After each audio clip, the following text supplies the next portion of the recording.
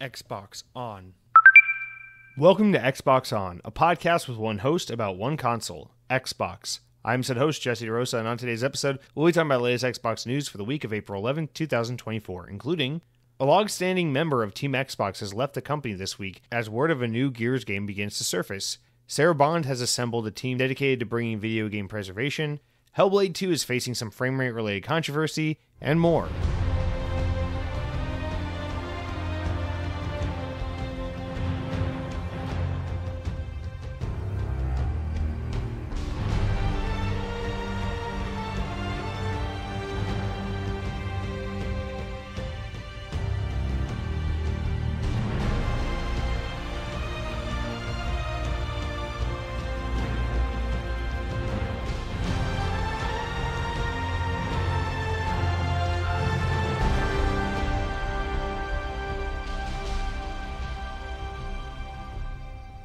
On this day in Xbox history, in the year 2012, 12 years ago, The Splatters was released for Xbox Live Arcade on the Xbox 360 in the US.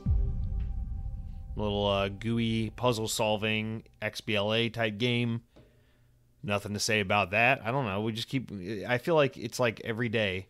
I'm like, oh, let's see what happened on this day in Xbox gaming history. I look at like the day before, and it's like Halo came out, and it's like, oh, look at the day afterwards, and it's like uh, Gears of War came out, and then I look at the day the podcast goes live, and it's like Squid Tastic came out for Xbox Live in Uruguay. I'm like, fuck me.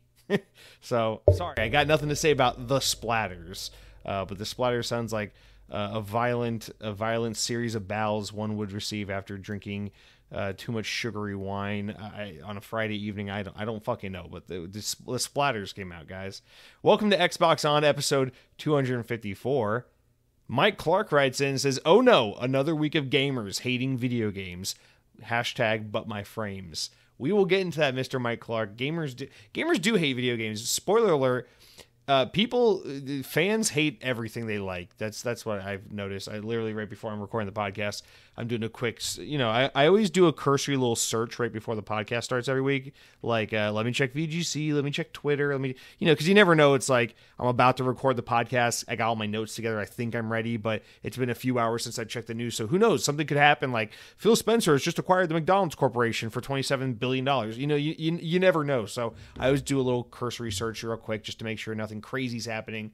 Um, and um, th- there's you know while I'm checking Twitter or X or whatever to to just kind of make sure there's no controversy, nothing I need to make sure I touch on uh, before we hit record. I just see it's like everything. It's like I, on, my Twitter is like it's like a couple Disney related things, a couple video game related things, a couple like baseball related things, and I I, I just love it, man, because I'm just I'm scrolling here for like two seconds and then I ended up getting stuck in here for like 10 minutes and it's just people bitching. They, they bitch about everything, Mr. Mr. Mike Clark. If, if I'm looking at my video game stuff, people are bitching about the frame rates in in uh, in Hellblade 2. If I'm looking at my Disney shit on on here, people are bitching about uh, rumors about things that haven't even been announced yet and complaining about things from 20 years ago. It's just everyone's everyone is an insufferable asshole. What do you want? What should we do about it, Mike Clark?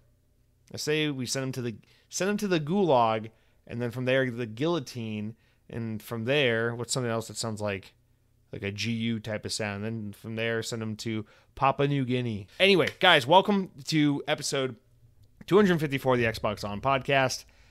We got a lot of news this week. We actually got a, a healthy chunk of news. It's uh, I feel like it's an inverse of what we've been having lately, where there's a lot of small news stories and not a whole lot of big news stories. This week is like a decent kind of medium light amount of small stories, but a lot of big stories to talk about. So, and it's not like an obnoxious big stuff like the Microsoft is in court fighting the FTC right now. It's like normal shit like uh, this person left the company, this person uh, just announced this thing, and there's a new initiative, and this video game has this controversial feature. So we're talking about video games again. That's that's kind of nice, you know.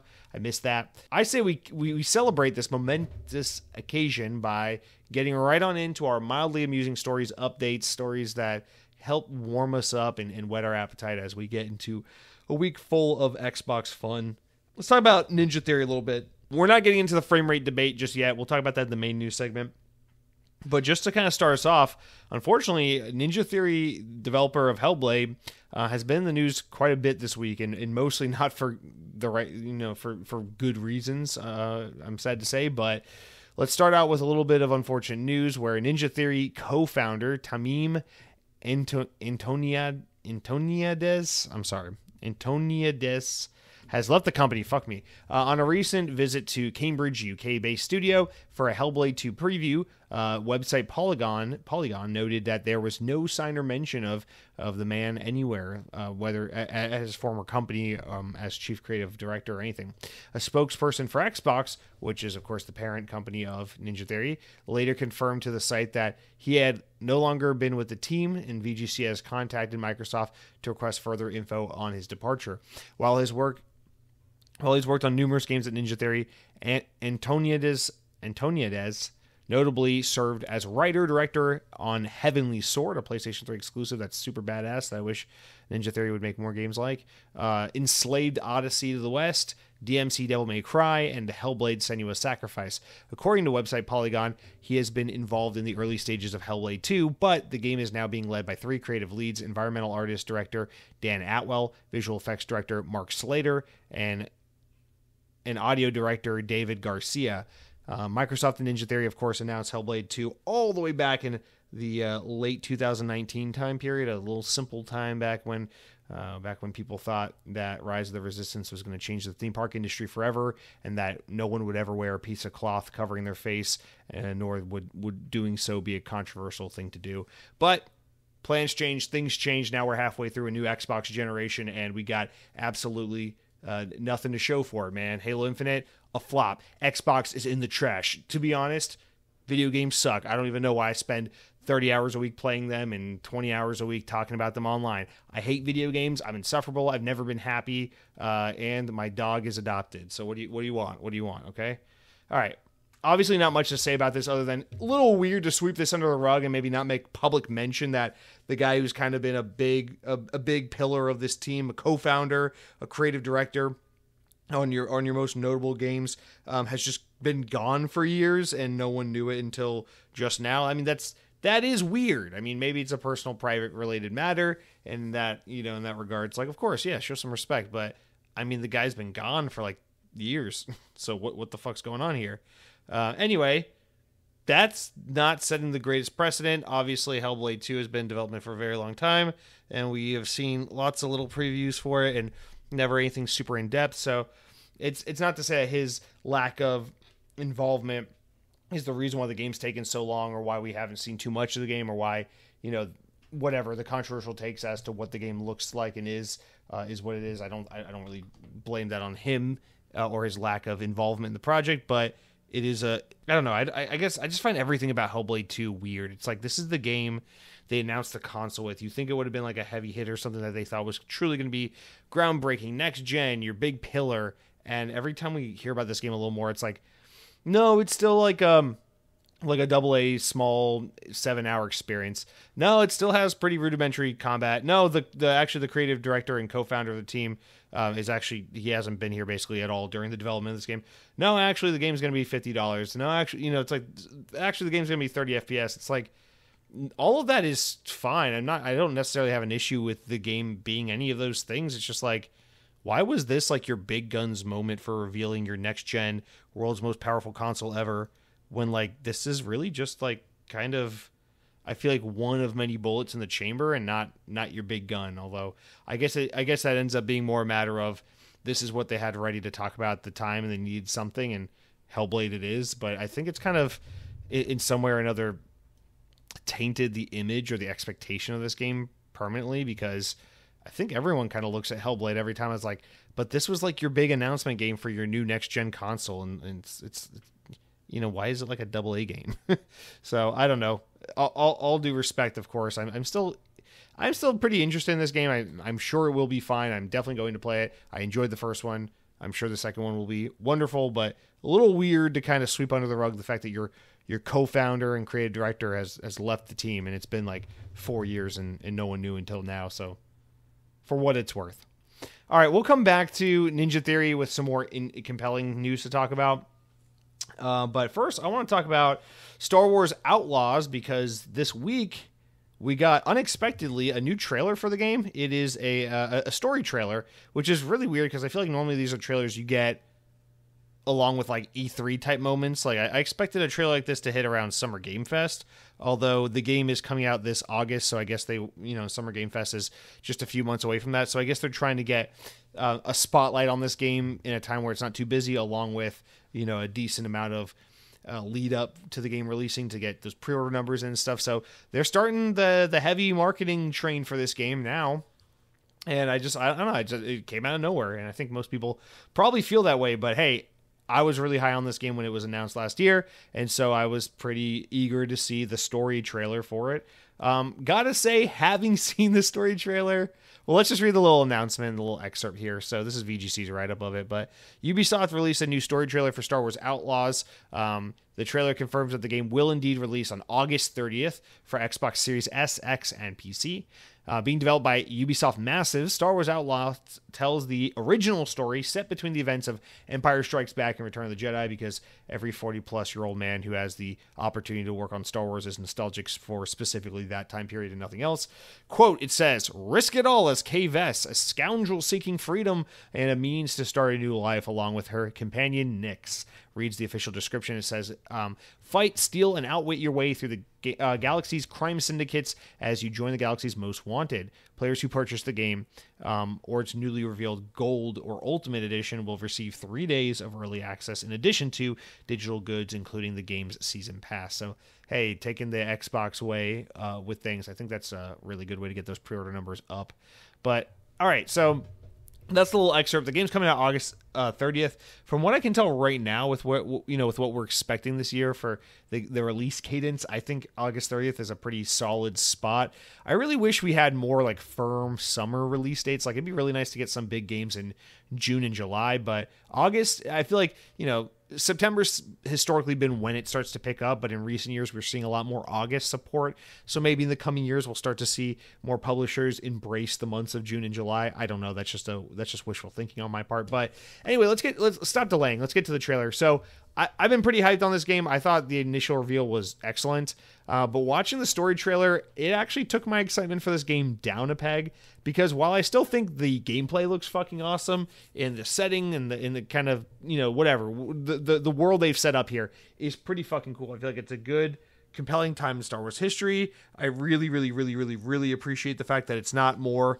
glow sticks versus Jedi kind of stuff because I'm really fucking tired of everything in the Star Wars universe having to be about Anakin and, and Luke Skywalker and it's really nice for them to, you know, I don't know, it's like it's like if every movie was about if it's like if every movie had to be grounded and tell the story of modern day, you know, uh, the mm, world history in the past 100 years, you know, and then every movie you went to the theater to see was about a tech firm in San Francisco. It's like, okay, that's that's that's one place and time and, and thing and, and and area to focus your attention on, I guess. But can we tell a story about like I don't know France during World War II? Can we tell a story about uh, Kuwait during the '90s? Can we tell a story about freaking uh, the, I don't know the, the uh, underserved uh, struggling through the devastating events of Hurricane Katrina in 2006? Can we tell a story about God forbid anything other than just San Francisco? You know, it's like as a, as a reference point. If like every fucking movie was about uh, some kind of some kind of Mark Zuckerberg like motherfucker in the city of San Francisco uh, during the 2010s. It's like that's it, it, gets old pretty fast, right? So that I don't know. That's how I feel about Star Wars. Like it, it, it marks itself as like this a long time ago in a galaxy far, far away. It's like okay, that sounds pretty fucking big and expansive. Sounds like there's plenty of different characters and plenty of different stories to tell within this really big galaxy super far away a long, long time ago, okay? But they're like, nah, psych, everything is just actually related to this one fucking blonde bitch from a double moon planet with a with a glow stick. It's like, okay, we get it. Tell me about anything else. So inherently I'm just really drawn to Star Wars Outlaws because not only does the gameplay look very good, but I just love that it's like the scoundrels, the outlaws, the kind of crime syndicates and shit, which is this whole different angle. Please, for the love of Christ, God Almighty, I'm begging, I'm praying, please, for the love of fuck's sake, do not trick me in this game. Do not let me get 14 hours into the main quest line just to find out in the third act, Kay Vess and her sidekick Nix has to team up with Jedi this or Sith Lord that because I will fucking lose my shit if this game devolves into being yet another Star Wars game like that or yet another Star Wars story like that. But I gotta say, on its own terms, based on what we've seen up until now, I'm pretty optimistic about the characters, the setting, the time period, the the just kind of the whole layout. Where the game kind of lost me with this new trailer is just I don't know. I, I, I don't. I feel like the writing, the exposition, the writing, the acting, just something just feels, it feels off. It feels very surface level. Feels very rudimentary. It just feels like you have access to one of the most beloved and high price IP of all time, and it just feels written in a very pedestrian way. Maybe that's just because it's, it's a story trailer and they're trying to give you the most like exposition moments from the story, but I don't know. None of these performances based on the trailer, which is of course just a two minute snippet of a, a much larger game.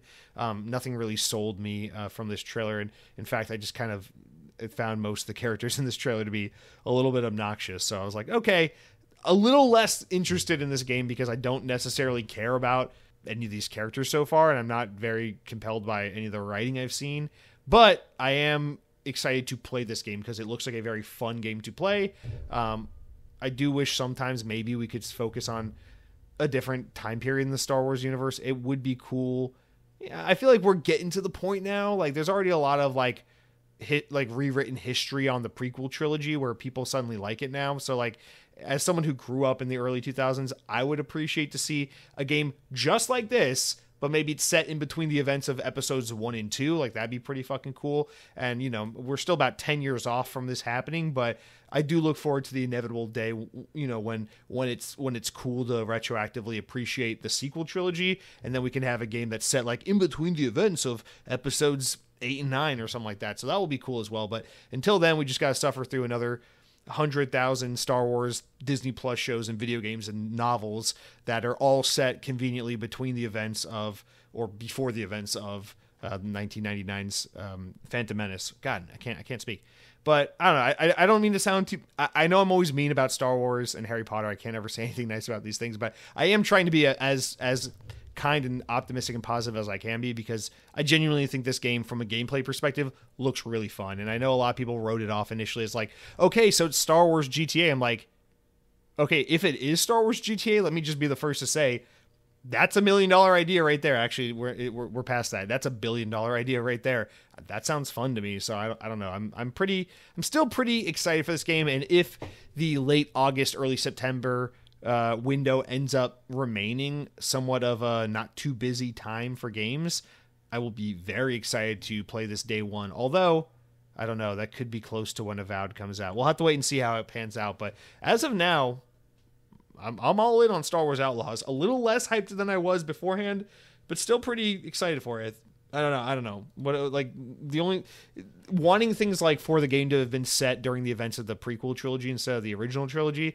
That's more like you know, that's more like nitpicky stuff for the most part. Like the game looks good, you got you know take it for what it is. A good looking game is a good looking game. So, or or at least don't don't do that thing Disney does now, where like every time they do try to explore the prequel era, they make it look like the original. That that's dude, that's that that's that thing that really gets me. Is like you watch like the Obi Wan show, or you watch or you play like the Star Wars Jedi games or whatever. It's like it's kind of fucking cool. Like it's like okay, this takes place like around the prequel era, but it just looks like the 1980s Star Wars. It's like, come on, man. Like, don't be so afraid to show the Star Trek chrome fucking weird 1950s inspired Star Wars that that they did in the early 2000s. It's it's okay. It happened. We can we can accept it.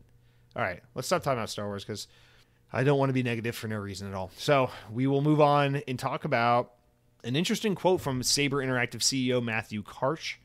Um, this is a story right up from VGC with some quotes from an IGN article, so we got a little bit of both.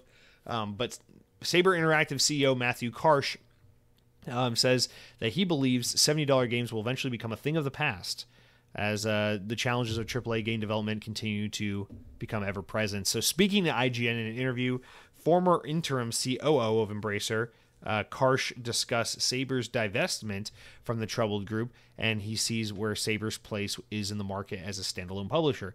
The exec said that he believes Saber occupied a position between independent studios and AAA publishers.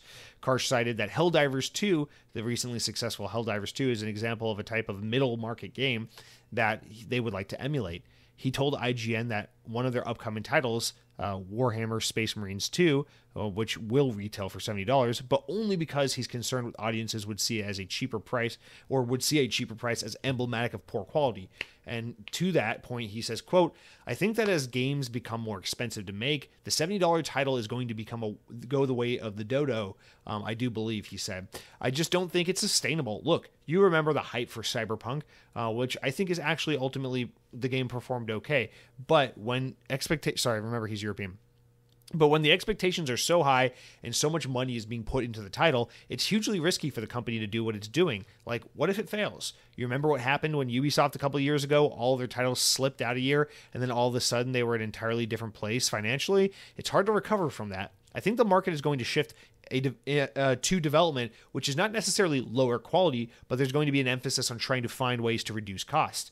Karch acknowledged that AAA development is going through a tough or through a major shift, and is uh, and he claims that the past trends of sky high budgets and lengthy development periods are not sustainable. Ending with the quote: "I think that there's going to be a real shortage of game content over the coming years. You've seen how many layoffs, uh, how many layoffs there have been, and you see how many games have gotten killed. But we have a lot of good projects going on, and I'm proud of that, and I really, really feel strongly about that. So I actually agree 8,000% with what Karch is saying here. And I feel like this is kind of everything I've been saying as well. However, I do also feel like what he's doing is really aptly explaining the problem while not really addressing how it's going to be solved and addressed, but still acknowledging that it will be addressed or solved or reacted to in some way, state, you know, shape or form. And I especially appreciate what he says here about uh, Warhammer Space Marines 2, where he's basically saying like, "Hey, this is a game that we might, you know, this is me reading between the lines a little bit, but you can, this is what you can deduct from what he's saying here. Hey, this is a game that we wouldn't necessarily be opposed to selling for like 50, 60 dollars, but we have to sell it for 70 bucks because we know damn well that if we put this game on the marketplace for 50 bucks, a lot of people are going to look at it and go, "Oh, Warhammer Space Marines 2, this looks cool." Then they're going to click on it and go, "Oh, it's only $50." That means it's like a budget game or that means it's like a short game or that doesn't have many features or that the graphics aren't as good because games that are $70 are the top of the line AAA games and games that are less than $70 are either free to play garbage or it's like double A cash grabby, glitchy, janky, budgety shit and that is a stigma that has to be fought. I've been talking about this forever and how I think Game Pass is a huge part of the key to solving this problem where we need to encourage publishers and and and developers to explore this space more and the way we can uh, you know encourage that is by supporting financially these kinds of games by buying and playing more of these kinds of games and not maybe always engaging with the AAA game. And I know I sound like a hypocrite because I played Justice League, uh, Suicide Squad killed the Justice League a few months ago, the day you know when it released for full price. But my point still stands that yeah, I mean you look at games like Helldivers 2, which is like what 40, 50 bucks, money well spent. Everyone loves Helldivers 2. It's a great game. It's a huge success. And the more games like that succeed, and the more AAA games continue to fall and stumble over themselves and release broken and unfinished and take eight years to make and make have a, a hard time turning a profit because of the lengthy and costly development um, expense. Yeah, we'll, we'll, we'll see more and more publishers and developers turn to this and be like, okay, how can we cut corners how, or not cut corners but where can we cut costs how can we roll things back obviously right now ai is a huge part of that conversation it is what everyone is looking to as the kind of beacon of hope to help them cut down on the costs and speed up the process uh, more efficient and effective and powerful engines like unreal engine 5 and we look to the future and we think about things like new console hardware Unreal Engine 5, AI, etc., etc., and, we, and, and we hope and pray that these things will, these tools will make it easier for us to get fairly AAA experiences, but at you know a reasonable a reasonable uh, development timeline, and maybe not everything has to be seventy dollars. Maybe we can explore that space a little more.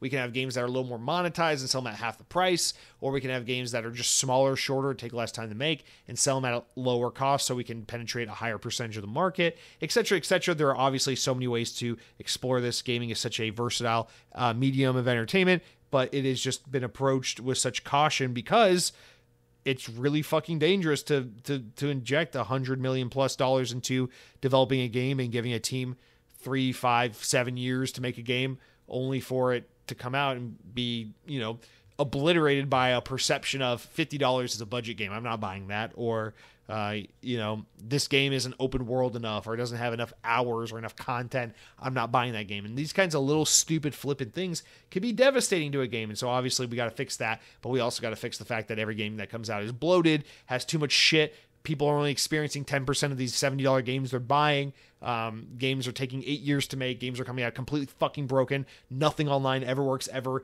Game saves are being broken. Uh, quick resumes breaking everything. It's it's like it's like Rapture in the in the, in the, in the goddamn video game space where the, the, the ground is cracking and people are falling down to hell and, and and and God is coming down to save absolutely no one at this point in time because first developers and publishers need to save themselves by firing tons of people, employing AI algorithms to do the work for them, and therefore giving us as consumers more affordable games. This is this is great. I'm glad we had this conversation.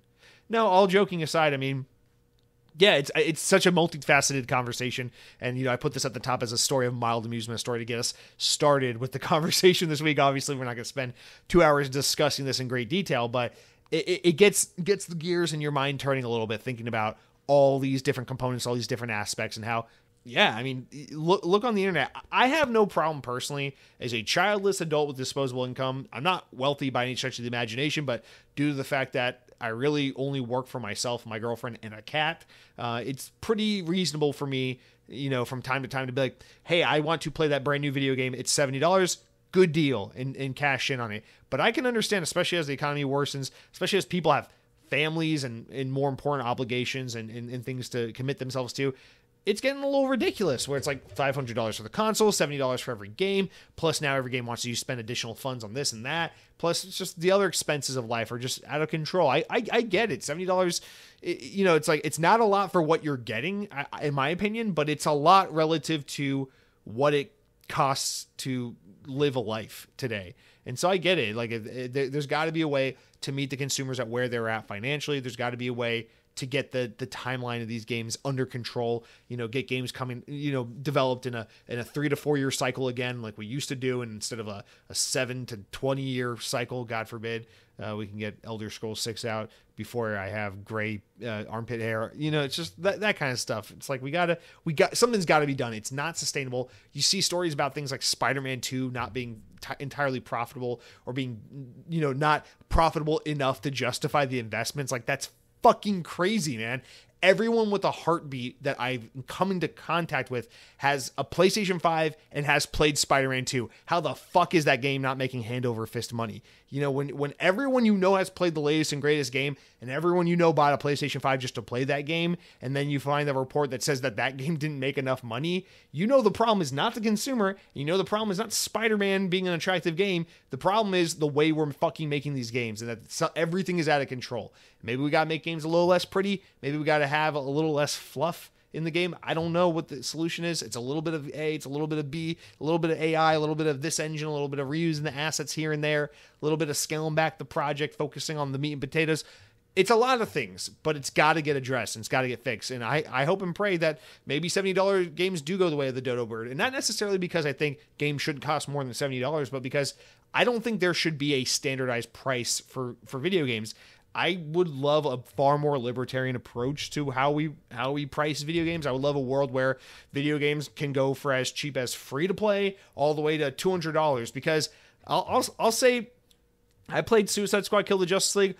I think that game would have been worth 40 bucks considering what I got out of it. I don't regret spending $70, but I think the sweet spot for a game like that would have been 40 bucks. But, you know, on the flip side, I just played Wasteland 3 for the first time. That game's 4 years old. I played it through Game Pass, so I paid nothing additional to experience it. But having played it and falling in love with it like I would have, like I like I just did, the, the 40 plus hours I put into that game, I wouldn't mind playing or paying $150 for an experience like Wasteland 3. I'm not saying Wasteland 3 should go cost $150, but you know, when I'm just evaluating the time I spent, the enjoyment I received from it, the value that I have placed on that game based on my the quality of my experience and time spent with it, I think that game's worth well over $60, well over $70.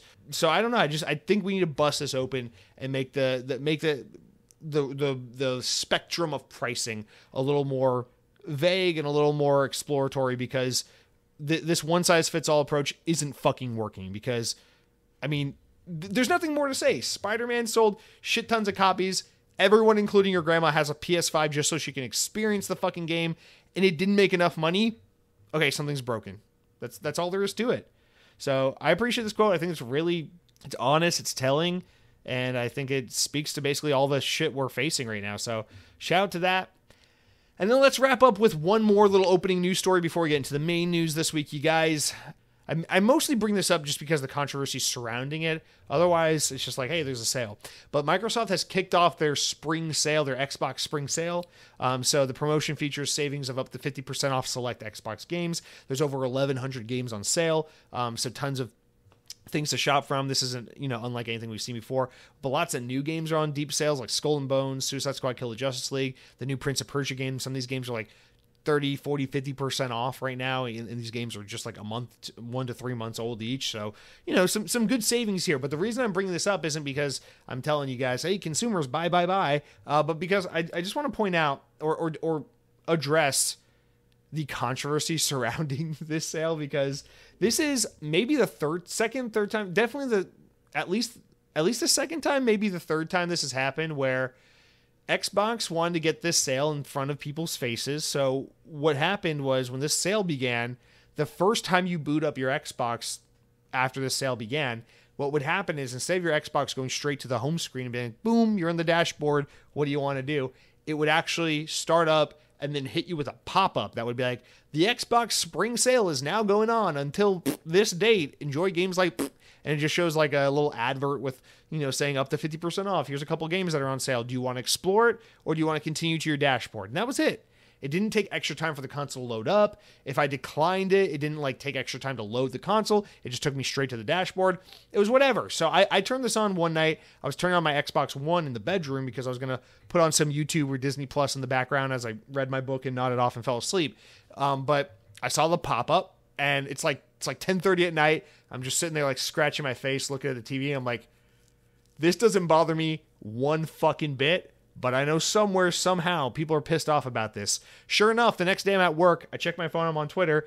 Everyone's bitching and moaning about the fucking pop-up screen. Xbox is letting you know there's a there's a spring sale going on. Listen, you are totally entitled to your opinion. If if you're like, hey, that's a little distasteful. I spent a premium amount of money to buy this console. Uh, I pay a premium price for this for this monthly subscription service. I expect you to respect me and not bombard me with ads and, and pop ups and nasty, ugly shit like that. I understand that perspective. If for someone it's like, I'm slightly irked by this, I don't prefer this, that's tasteless. Don't do that, Xbox. I can understand, appreciate that. But for this to be a full blown controversy where people are up in arms, people are ripping off their shirts and pulling out, un- unsheathing their sword and shield to to go into battle over this, it's like calm the fuck down. I, I gotta be honest. If it weren't for the fact that the internet exists and, P- and we've made the unfortunate mistake of giving the everyman a voice in this world, uh, I, I, w- I would simply say that this was a pop up that happened to me. I noted it. I moved on with my life and I never thought of it again. But here we are having the conversation because people got to be so worked up. I mean, listen, man, again, I can respect if you don't like this approach. And I can see this approach being taken to an extent that's too far. Like they do this every time I turn on my Xbox, I get a pop up for something different. Like yesterday, it was the spring sale. Then today, it was like, hey, the new Ghostbusters is now available on movies to rent. On you know, oh, come and pre-download the movie. It's like, okay, that's a little bit of an overreach. It's like I turn on my Xbox to play a video game. Why are you marketing a new movie to me? Like that's you know, I can see if it's like, hey, Xbox Game Pass subscribers now get three free months of Spotify if you claim your offer now. It's like that shit would be overreach, and I'd be like, okay, we don't need some bullshit every time we pop up. But if if for the first time in five or six months, my Xbox is going to start up and be like, just so you know, we've got 1,100 games on sale, some of them up to 50% off. Statistically, there's going to be at least a dozen games or so that you're going to be interested in. Do you want to check this out? Or do you want to continue to your dashboard? I'm not going to look at that and be like, ooh, I'm so offended. Ooh, I'm so, ooh, the quality of Xbox has just gone, so, ooh, I think I'm going to go sell my Xbox and buy a PlayStation because this is just really, on, this is just really tacky Xbox. Like, shut the fuck up, man. Go, go like adopt a parrot, have that parrot die after you grow an emotional attachment to it so you can feel something that's more important and more real than this pop-up ad. That's, that's all I'm asking. I'm not saying kill the parrot. For love of Christ, don't fucking kill the bird. I'm just saying Go experience something real in your life so you can realize that there are more important things to bitch and moan about than Xbox being like, "Hey, you want to see 50% off the new Prince of Persia?" Yes, no, maybe okay. Go go back to playing fucking uh, Leisure Suit Larry. Why do I always say Leisure Suit Larry? I don't think they've put one of those things out since like 2004, but whatever. Guys, that's it. That's it for the opening news segments. Let's um get into what I've been playing and all that, and then we will take a quick break and jump into the actual big chunky news. But uh, yeah, just like I said, talk about the games I've been playing. But before I can tell you about the games I've been playing, I gotta tell you real quick about what I've been eating. And speaking of controversies, something has got to be done. Something's got to be said. Okay, I'm, I'm coining it now. I'm bringing it to the attention of the people right now. Thin Onion Gate needs to start trending. It needs to be a thing. Thin Onion Gate, this cannot go on any longer. And you might be asking yourself, Jesse, what the fuck is Thin Onion Gate? Allow me to explain this atrocity that has been uh, thrust into my personal life. This, this, this, this, this atrocity I did not ask for. I did not go looking for, but it was put upon me. So this past Saturday, for the, I don't know how the fuck this happened. I'm still praying to God and thanking Him that it did. Uh, my my girlfriend was suddenly struck with the mood for for the first time in forever to just actually just spend like a full locals day at Disney World. Just like let's just go enjoy the uh, perk and benefit of living 20 minutes away from like the coolest goddamn place in the entire planet. And so we woke up early Saturday and we spent the whole day park open till park close at Disney's Animal Kingdom theme park. It was fucking awesome. It was a great day. The weather was beautiful. The crowds were surprisingly low for a Saturday. Um, it was a really wonderful day. We spent most of the day uh, just trying different snacks around the park and, and watching adorable animals. It was great. We saw some really cute um, river otters. We saw some freaking meerkats. We went on the safari and saw some some giraffes and shit. We went to see the tigers, but they were sleeping. It's all good. We had a really great day. That's not what I'm here to talk about. The thing is, I was like, hey, I want to spe- I want to celebrate this day. Like this is fun. This reminds me of the fun of like back in the day when we when we didn't live here, when we were tourists, when we just come here on vacation and you just spend all day every day in a Disney theme park and you'd exhaust yourself and try to do all the rides and it was it's fun. I miss that shit. So I'm like, you know what? I want to do something special to celebrate this. Let's let's like go out for dinner. Let's like we don't eat out a lot. Let's let's do something special. So I had a twenty five dollar gift card to the Rainforest Cafe because I got thank thank you Landry's. They sent me one for my birthday, uh, and so we we go to the Rainforest Cafe restaurant that's at Disney's Animal Kingdom, and I'm like, let's have dinner here. It'll be a really fun like cap off to a, a great night or a great day at, at, at this theme park. And so we go to the Rainforest Cafe, which if you've ever listened to Xbox On, you know damn well Rainforest Cafe is one of the top five greatest restaurants of all time. It's not even close. Fuck you, Spago. That's right, I said it, Mr. Wolfgang Puck.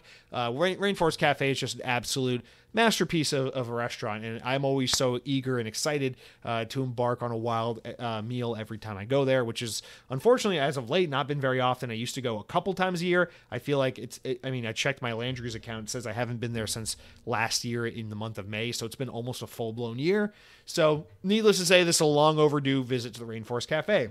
So we walk in, you know, I tell them, we don't have a reservation, but it's a slow day. Do you guys have a table? They go, right this fucking way. They give us like, I swear to God, the best seat in the house. They sat us right next to the animatronic tigers. So I'm like, what the fuck? It's like, you know, usually when you're anyone out there who usually just goes out to eat with like their girlfriend or boyfriend or whatever, you know what I'm fucking talking about. When you're a party of two, you always get the worst seat in the house. It sucks, especially when you're at Disney World and and you know the average party is like six, seven, eight because it's big families on vacation. You always get the worst table when it's just two people. So we're expecting to be sat at the shitty little rinky table next to the bathrooms, next to the kitchen.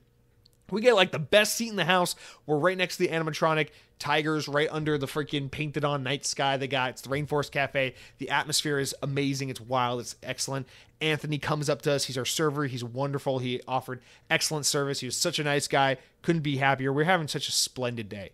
Great day at the theme park. Great weather. Great table you know, we're at the best restaurant of all time, Suck It Spago. Anthony's over here offering the best service I've ever I've ever experienced in my life. And I say, you know, today I'm not feeling fancy. I just kind of want to lean into my comfort food. I want to I want to pretend it's like 2015 again, you know, and I'm 19 years old again and I don't feel like trying quinoa or, or, or lechuga or whatever the fuck. I want to just get, I just want to get a cheeseburger. I just want to be simple. I just want to be a basic child again. So I'm going to get the delicious Rainforest Burger, the one surprisingly an incredible burger. I don't know why. If you ever go to Rainforest Cafe, their burgers are just really good. And I get the Rainforest Burger, and I'm expecting the same burger I've had at this restaurant a million times. But when this burger comes out, I notice there are a couple things very different about it. Namely, the bun looks a little more whole wheat than white, which I'm not a fan of. Feels a little more old and stale instead of fresh and soft. And the burger bun, the burger patty looks a little thicker. I like thin patties. This is a little thicker than I'm used to. But the biggest offense of all is I notice the raw red onions that come with the rainforest burger are not shaved super thin on a mandolin like they normally are, like razor thin onions, but rather they are thick cut raw red onions. And I said, wait a minute, hold the fuck up. Rainforest Cafe is famous for their thin raw onions on their burgers. How could they do me like this? Now, me being a millennial, I don't complain about things when something's wrong. I just kind of take it on the chin and deal with it. So I'm like, okay, the bun's a little stale, the burger's a little thicker than than I like, and they got these thick red onions instead of the thin, really delicious ones. And so I assemble the burger and I bite into it. And you know what? The thicker patty doesn't bother me. The burger bun doesn't. I don't taste or feel the staleness. It's such a thick, well well topped burger that it's not an issue at all. I don't mind any of the changes I, I'm noticing. The safari fries, the safari French fries that it comes with, just as good as always. Everything's great except these fucking onions, dude. They're so thick and they taste good. Don't get me wrong. The burger's still phenomenal. I'm having a great time. But I want those motherfucking signature, famous, world famous thin onions. Okay. Here's the thing about red onion red onion is incredibly harsh. It is a strong, it has a strong acidic taste. It is very, it's very punchy and in your face. And the trick to eating not just red onions, but raw red onion is to cut them thin and wash them under cold water because it washes off a lot of the bitterness and the acidity and leaves you with a more sweet and subtle onion flavor. And I mean, that's I'm not a chef. I, I am such a fucking novice in the kitchen, but even I know that, right? In Rainforest Cafe, one of the things I've always loved about their burgers is they always give you a shit ton of red onion but it's like a, a, a, shit ton of it, but it's so thin you can kind of take a little off if it's too much. Or I always just eat all that they give me because I mean, if the, if the chef said this is how much red onion I should consume, uh, who am I to, to to deny? So generally, I enjoy the red onion. It's soft, it's sweet, it's mild. It adds crunch and freshness, and such a great contrast with the beefy, meaty, uh, umami flavored burger you get there. But in this case, I'm getting a fucking onion, a ring of onion that is just as thick and, and present as the as the burger patty itself. And I'm thinking, oh no, no, this can't be. It's still a good burger, but it went from being a 10 out of 10 burger to being like a 9.2 out of 10 burger.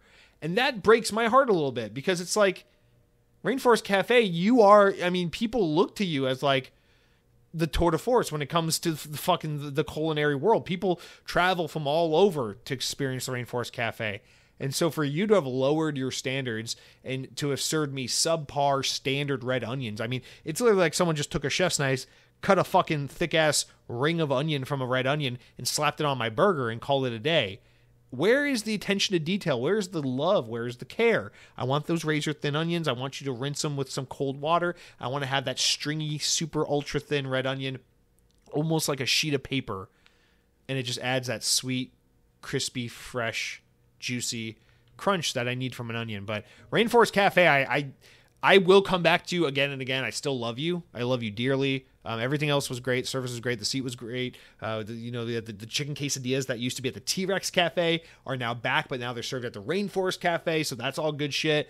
Um, you know, my girl got this wonderful uh, uh, curry chicken veggie curry dish that was also very, uh, very delicious. But I mean, come on, we gotta pull it together with the onions here, Rainforest Cafe. You cannot let me down. In a world where we no longer have Disney Quest, where Epcot is a shell of its former self, where Xbox is probably exiting the home console market imminently, um, where it is no longer cool to BMX and skateboard and inline skate, and, and, people don't say radical, dude, gnarly, any of these words anymore. I am constantly being marginalized from a cultural perspective. Everything I love, everything I hold dear is getting snuffed out of this world, okay? You took away my Epcot. You took away my fucking 90s radical culture. You took away fucking ska punk. You took it all away. Everything I love, everything that made me who I am you got Joe Rohde's out of Imagineering, where the Halo's got like multiple games that don't have uh, proper endings now. Like everything is so fucked up, man. And I'm almost 30, and it's not it's not good over here. Okay, and now we got to add Rainforest Cafe's burgers to the list of, of things that just aren't okay. All right, I'm done. I'm done. We'll move on. All right. Speaking of being a perpetual child, as for the games I've been playing this week, really, I've, I've taken a week off of gaming. I'm going to be completely honest. The game I've been playing in my free time, a little bit here, a little bit there, has been Hot Wheels Unleashed 2. I've been playing through Game Pass, streaming it to my Logitech G Cloud, and it's it's great. I really have nothing to say. It's just more Hot Wheels Unleashed, and it's it's wonderful. Um, but I feel bad. I, I, had every intention of playing Diablo 4. I had it downloaded. Um, between one, my girl, girlfriend becoming obsessed with Fortnite, and and me never being able to play the Xbox now because every time I get on, it's like someone's already playing on your account. It's like, eh. Between that and uh, and just this weekend, I don't know. I just went through like a weird uh, a weird Disney thing. I just had to like go to Disney this weekend, so I I, I said fuck video games fuck TV, fuck mowing the lawn and cleaning the floors and doing the laundry. I spent all Saturday at Animal Kingdom, and then all, most of Sunday I spent um, at, at, park hopping between Magic Kingdom and, and Epcot at Disney World. Uh, it was it was a wonderful time. But then I came home and, and I, I went grocery shopping and, and got ready for work. So I really didn't. Yeah, I, really my my hobbies this week have been just going out and doing shit. And then um, when I had the time to play video games, I, I read a book instead. So I feel a little disgusted about that. Probably shouldn't have been doing that. But yeah, I went running around Disney World and I read my Kindle instead of uh, playing Diablo 4. So does that make me less of a gamer? Yeah. But does it mean I'm educated because I know about Onion Gate and you're a fucking plebeian sitting there playing goddamn uh, Dragon's Dogma 2 like a like a like a weirdo, like a guy with a fucking foot fetish? Yeah, it does mean that about you. So you should feel like shit about yourself. All right, now that we're all feeling good, now that we're all being kind and fair and equal to one another, I just want to say that's it for what I've been playing. That's it for what I've been eating. That's it for the small news stories. Let's take a quick water breathing uh, thinking break. Come back in a few minutes and we'll get right into the news. What do you say to that? Okay, let's jump right into the news, but uh, I guess a little bit of a preface before we do that. So, the first two stories we have to talk about both come from Windows Central. Some some exclusive inside scoops they got, and so I tried to scale these down a little bit, and and it's a lot. I guess is what I'm trying to say. So, there's two parts. One's about a big departure, and the other the other one's about a big initiative from Sarah Bond. And so we'll try to talk about these in tandem to some extent. We might start with one, go into the other, and then talk about them together. But just to kind of set you up, we're going to go into these two first. It's going to be kind of extensive with the reading. But then after that, we will get into the news about Gears of War and Hellblade 2 and all those kinds of more video game related things. So just bear with me, uh, especially with these first two, because it's going to be a little bit. But starting us off with part one these are both from Windows Central. Jez Corden had the scoop. After 26 years of Microsoft's tenure, at, or at after 26 years of Microsoft tenure, Windows Central sources indicate that Kareem Choudhry is exiting the company. Choudhry might be best known for uh, by Xbox fans for his quote it eats monsters for breakfast, breakfast in reference to the Xbox Series X, and the quote, it's a monster in, re- in reference to the Xbox One X.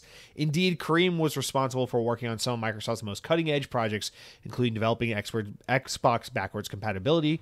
Um, along with Xbox Cloud Gaming and Microsoft's new AI division, known internally as XEM Tech, or Xbox's emerging tech team. Today is Choudhry, or this week was Choudhry's last uh, last day at Microsoft, according to sources familiar with the matter. Uh, the XEM Tech organization will move into a general, or will move into the general Xbox hardware organization, which is led by Roanne Sones. Sones Sones uh, is famed for her tenure uh, as an OEM expert in the Windows division, helping companies like Dell and HP get the most out of Windows for their PC fa- manufacturing efforts. Um, Windows Central spoke to Sones last year at Gamescom, where she made no secret of Microsoft's interest in gaming handhelds. Also, Jez Corden from Windows Central says that he's heard Jason Ronald remains as a tech advisor with Xbox uh, hardware umbrella since they've uh, seen reports in certain places where he was no longer involved in leading the charge for Xbox hardware, but in fact, he still is.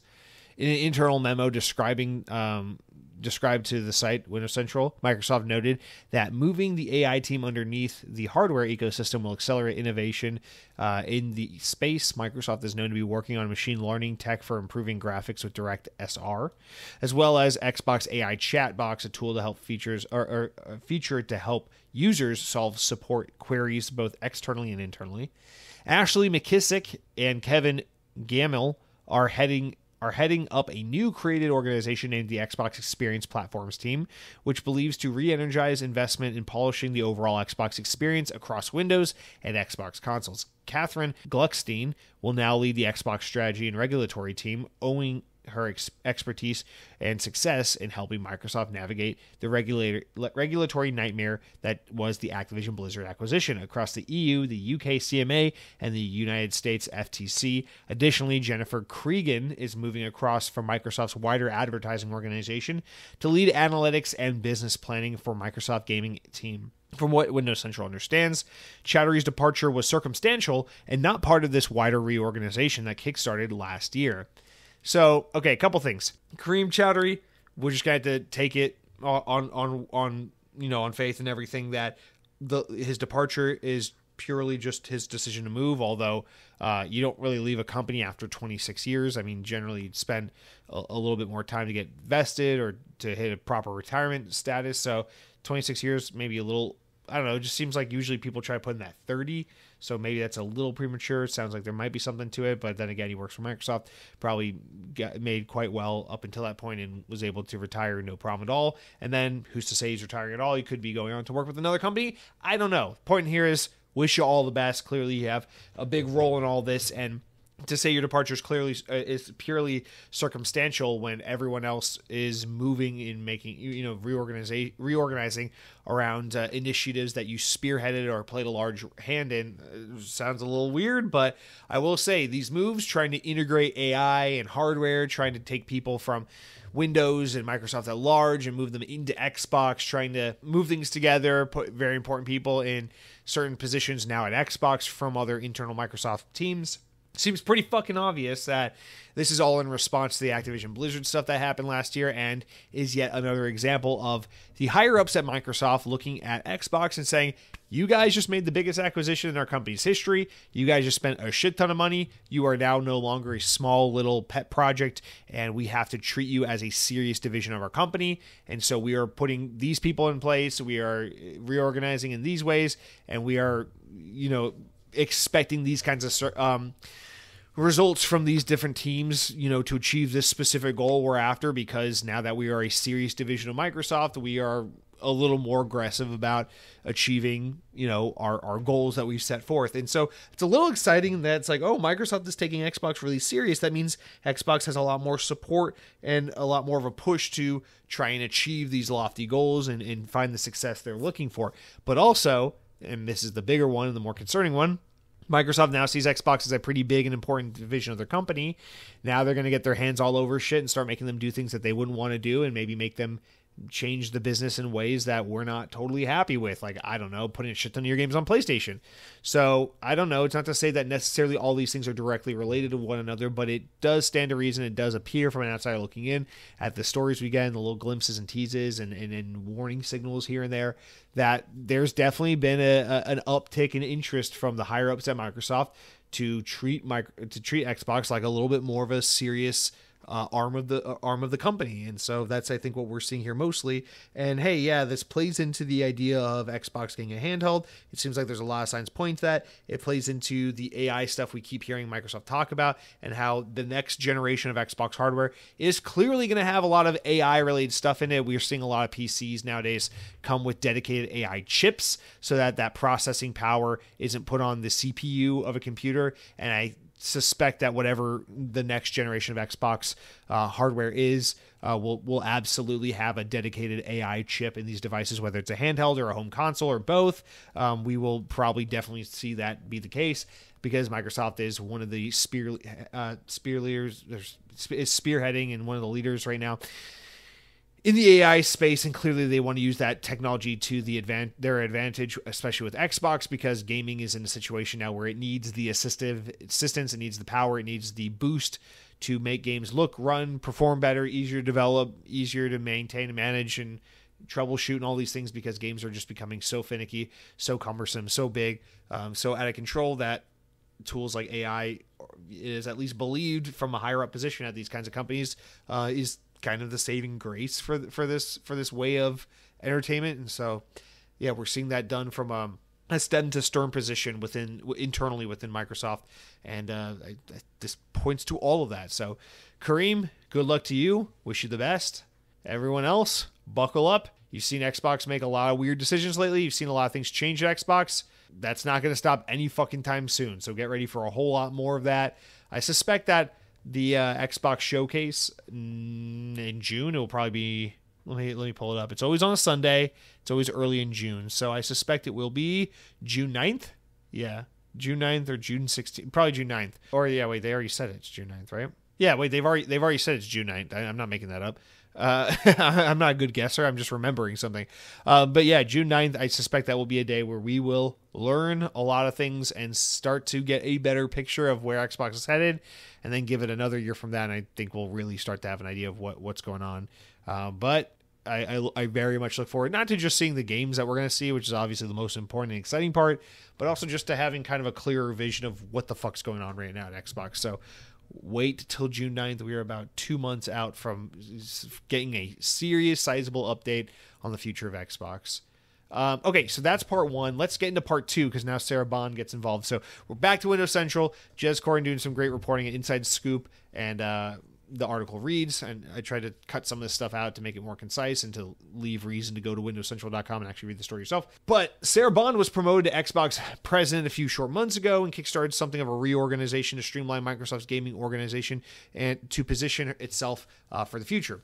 With Activision Blizzard now acquired, Xbox is seen something of a gaming is seen as something of a gaming powerhouse with huge platforms across Xbox console and P- cloud PC, all that um, in subscription services. Even even when it comes to Game Pass subscribers, Microsoft counts various other subscription services uh, within the fold, such as Minecraft Realms, World of Warcraft subscribers, and all that. So they're counting their gaming subscriptions from all walks of life and, and watching these numbers closely. The complexity of the Xbox business is doubtlessly a huge challenge, but there are some similarly huge opportunities ahead for the firm. And to that end, Sarah Bond recently sent out an email to rally her troops while also hiring while also sharing some interesting bits of news in the process. Microsoft's confirmed to Windows Central that the correspondence is genuine and reads, quote, it's been nearly six months since we came together as an organization. Our collective achievement is that t- in that time frame has been tremendous. Everyone should feel incredibly proud of what they've accomplished, excited about the opportunities ahead. We are moving full speed ahead in our next generation with our next generation hardware, focused on delivering the biggest technological leap in any generation. Sarah also touched on Microsoft's innovation in gaming AI, understanding to be understand that to be a big part of Microsoft's vision for the future of Xbox. She says, "quote We are innovating in gaming AI, focus on delivering player first, developer first value for discovery, engagement, and creative velocity." So again, making game development easier, shorter, less expensive, less cumbersome, and therefore making it better for the player. That's the idea.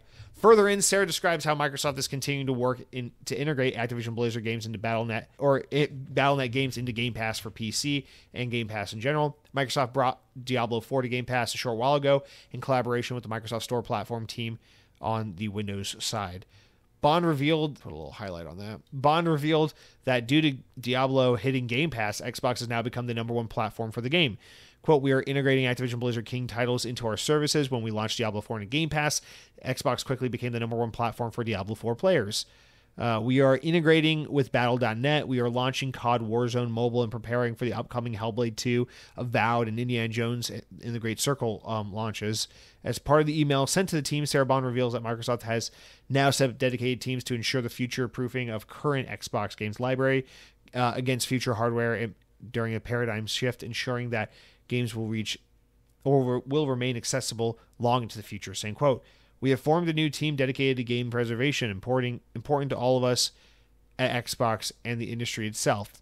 We are building on a strong history of delivering backwards compatibility to our players, and we remain committed to bringing forward the amazing library of Xbox games for future generations of players to enjoy.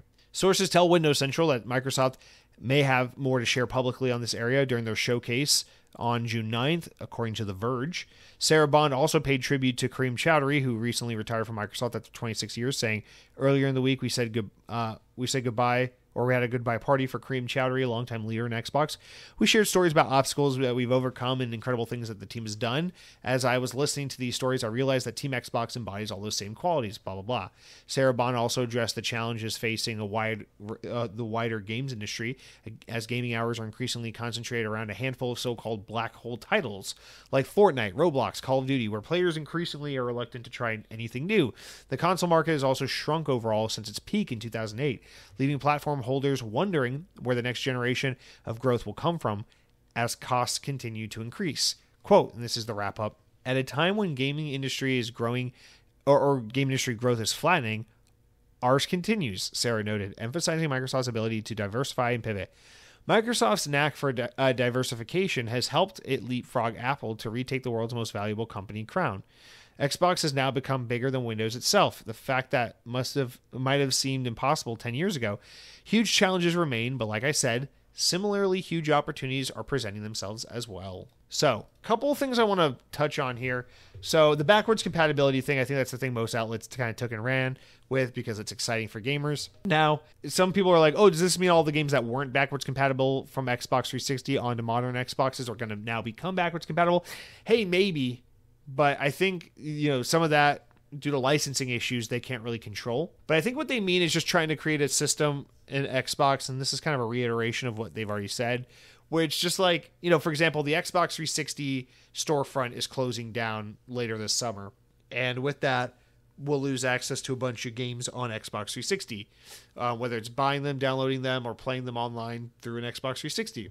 But the cool thing is because there's this huge initiative for backwards compatibility and, and incompatibility in general in the Xbox ecosystem, all these games that are no longer available to play or to download or buy um, that are stuck on Xbox 360, well, if they're if they're compatible on Xbox One and beyond, they're still going to be accessible, playable, and provided that these publishers and developers don't shut down these specific games servers, you'll still be able to connect to Xbox Network and play these games online and all these things. In fact, there are rumors that Xbox might have some big news at their June 9th event about Call of Duty, where not only are they going to reveal the next Call of Duty, Call of Duty Gulf War, the new Black Ops game, but also they might have some initiative surrounding backwards compatibility and, and trying to take old Call of Duty games from like the Xbox 360 era and bring them forward and, and keep the online servers alive and well and make all the old DLC potentially accessible and free and, and so that we can preserve these games and keep them playable. And I this is the night and day difference between Xbox's philosophy and Activision's philosophy of these kinds of games as a side note because Activision's approach under Bobby Kotick was very much like, hey, yeah, nobody's really clamoring to go play Modern Warfare 2 on the Xbox 360 anymore, but there's always going to be a dollar to be made by keeping that shit up on the storefront, available for the same retail price it was back in 2010, and say to people, hey, you want to buy this map pack? It's 15 fucking dollars. Buy it or move on. Um, and, and, and they made money doing that stuff. It's small money, but it's money nonetheless, and it didn't cost them anything really to keep that stuff up there on storefronts. But you can imagine a world where maybe Xbox looks and says, hey, it doesn't really do us any good to take all this DLC from Call of Duty games from like 08, 09, 2010 and say, hey, these are stuck on this old platform that's not accessible anymore, and you got to spend like $70 to get all the DLC from this one COD game. And maybe it's just best to say, hey, we're not cannibalizing the success of the next Call of Duty by just making it an option for people to go back and play Call of Duty World at War and Map Pack 3 of 4, you know, from 2009 on on the Xbox Series X. It's, if anything, we're just respecting our library and making sure that none of that content is lost to time and, and is inaccessible. And this is the stuff I truly love about Xbox because even if this is something that they do as a way to make themselves different from Sony because they need a way to compete to flip the table and to try and build a strategy of their own. I'm all for this strategy because I'm a huge advocate, as I'm sure anyone listening to this podcast is, for video game preservation. This this attempt to try and take the games we all know and love and grew up with and, and, and save them and preserve them because we don't really have this issue so much today with books as you know we did hundreds of years ago where you know it's it's it, writings and scriptures and, and, and philosophies and ideas and pamphlets and novels and just get lost to time because there aren't backup copies and we don't have some kind of like uh, way to preserve literature and I, the, the written word of, of man and things like that. We don't really have this issue when it comes to, uh, to, to, to books. Right. And it's like, well, we need to take that kind of, uh, that preservation mindset and that sense of urgency and apply it to gaming and say like, hey, maybe no one gives a shit about Battlefield 1943, the Xbox Live Arcade Battlefield game that was 20 bucks and came out in 2009 or 10 or whatever. But someone out there will want to care about this and it should exist. It was a game that was created, that was put out into the world, enjoyed by hundreds of thousands, if not millions of people, and was a part of the zeitgeist and the in the history and the story of gaming. And we shouldn't let it just fall to the wayside because this corporation doesn't see the value in keeping it around anymore and there's no money to be made or juice to be squeezed out of this orange anymore. It's like at some point you got to go hey, preserving the history, preserving the access and the ability to understand and see and know about this game is really important and critical. And the fact that Xbox is committed to doing that to me makes me feel it's it's so weird because it's like on the one hand it's like should I continue to invest in Xbox? Or they just is their hardware going to go away and they're just going to go to PlayStation?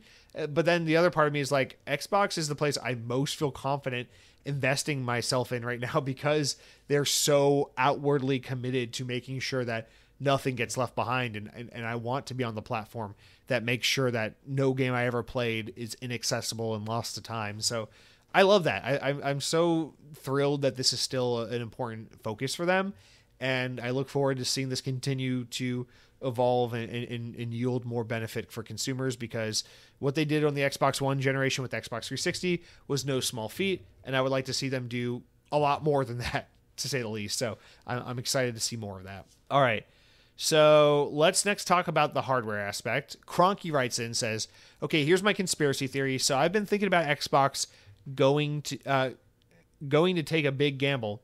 Oh, sorry. I think Xbox is going to take a big gamble and make a handheld device and start emphasizing that over consoles. So Sarah Bond doing her whole team that emphasizes forward compatibility will be a part of that. A team dedicated to making sure games work on new hardware. And yeah, I think they can do a lot of AI trickery and fuckery and, and, and things to be like, hey, this this this machine now can read these games with this language and you know these kinds of games can be optimized to look and run a different way. Even if it's not natively running this way you can you know this is coming from a complete tech layman so maybe i don't know what the fuck i'm talking about but maybe you know you can make it to where it's like this game was not originally released in 2005 for this xbox handheld console but this machine is smart enough and has the understanding to read a game like this see the commonality between a modern Xbox game and this game and go, here's where I can fill in the blanks. So we need to read it like this, we need to emulate this, we need to do this, and it will be able to more easily and accessibly take old games and read them. I don't know. I I feel like the way I'm thinking this, the way I'm saying this are two very different things. The way I'm saying it sounds very fucking stupid. But you know, basically just enable developers to make backwards compatibility so fucking easy and obvious that it's it's not a problem making old games accessible for new generations. And I really hope that's the case, whether it's a handheld, a console, or there's two SKUs and one's a console, one's a handheld. I don't fucking care. I just want to know that Xbox is dedicated to making sure that I still have access to everything from the past. And when we get a sad story like the Nintendo Wii U shop is shutting down for good, you know, at least for Xbox's side of things, I don't have to worry about losing out on a bunch of great games and things that will be lost to history just because the only thing that makes money today is the new flashy shit. So I, I, I love this. I'm all for this. This is great stuff, and it's great that this is a way they're reorganizing themselves is by investing in these services and investing in this platform. Now, what I'm more concerned about is is that platform going to be on console? Is that platform just a cloud streaming thing? Is that platform going to be put onto other platforms like PlayStation? And that's, you know, the, the million dollar question that we keep mulling over these past few weeks. Last thing I really want to touch on here is uh, Sarah Bond's point where she talks about working to integrate Activision Blizzard games and Battle.net um, into Xbox Game Pass for PC and console.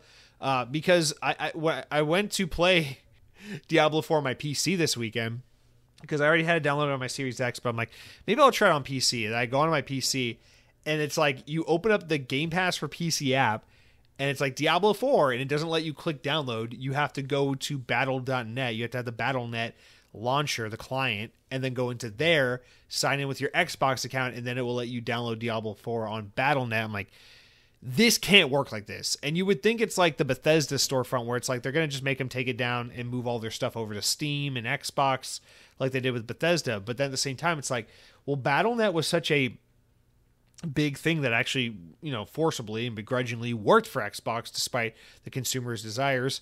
Maybe, you know, this Xbox that wants to get a, a mobile storefront on, you know, on mobile devices and wants to try and reach more places.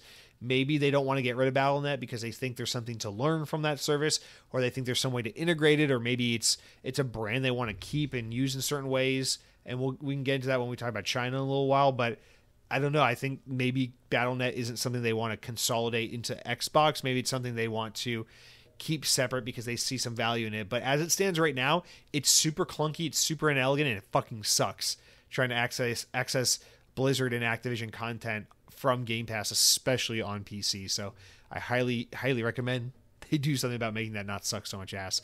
Especially if Diablo 4 is mostly played on Xbox, you know, and I assume they mean through Game Pass. That means a lot of people are dealing with this frustration, and that's uh, that's not good. That's not good consumer experience. So I, I, I hope they rectify that.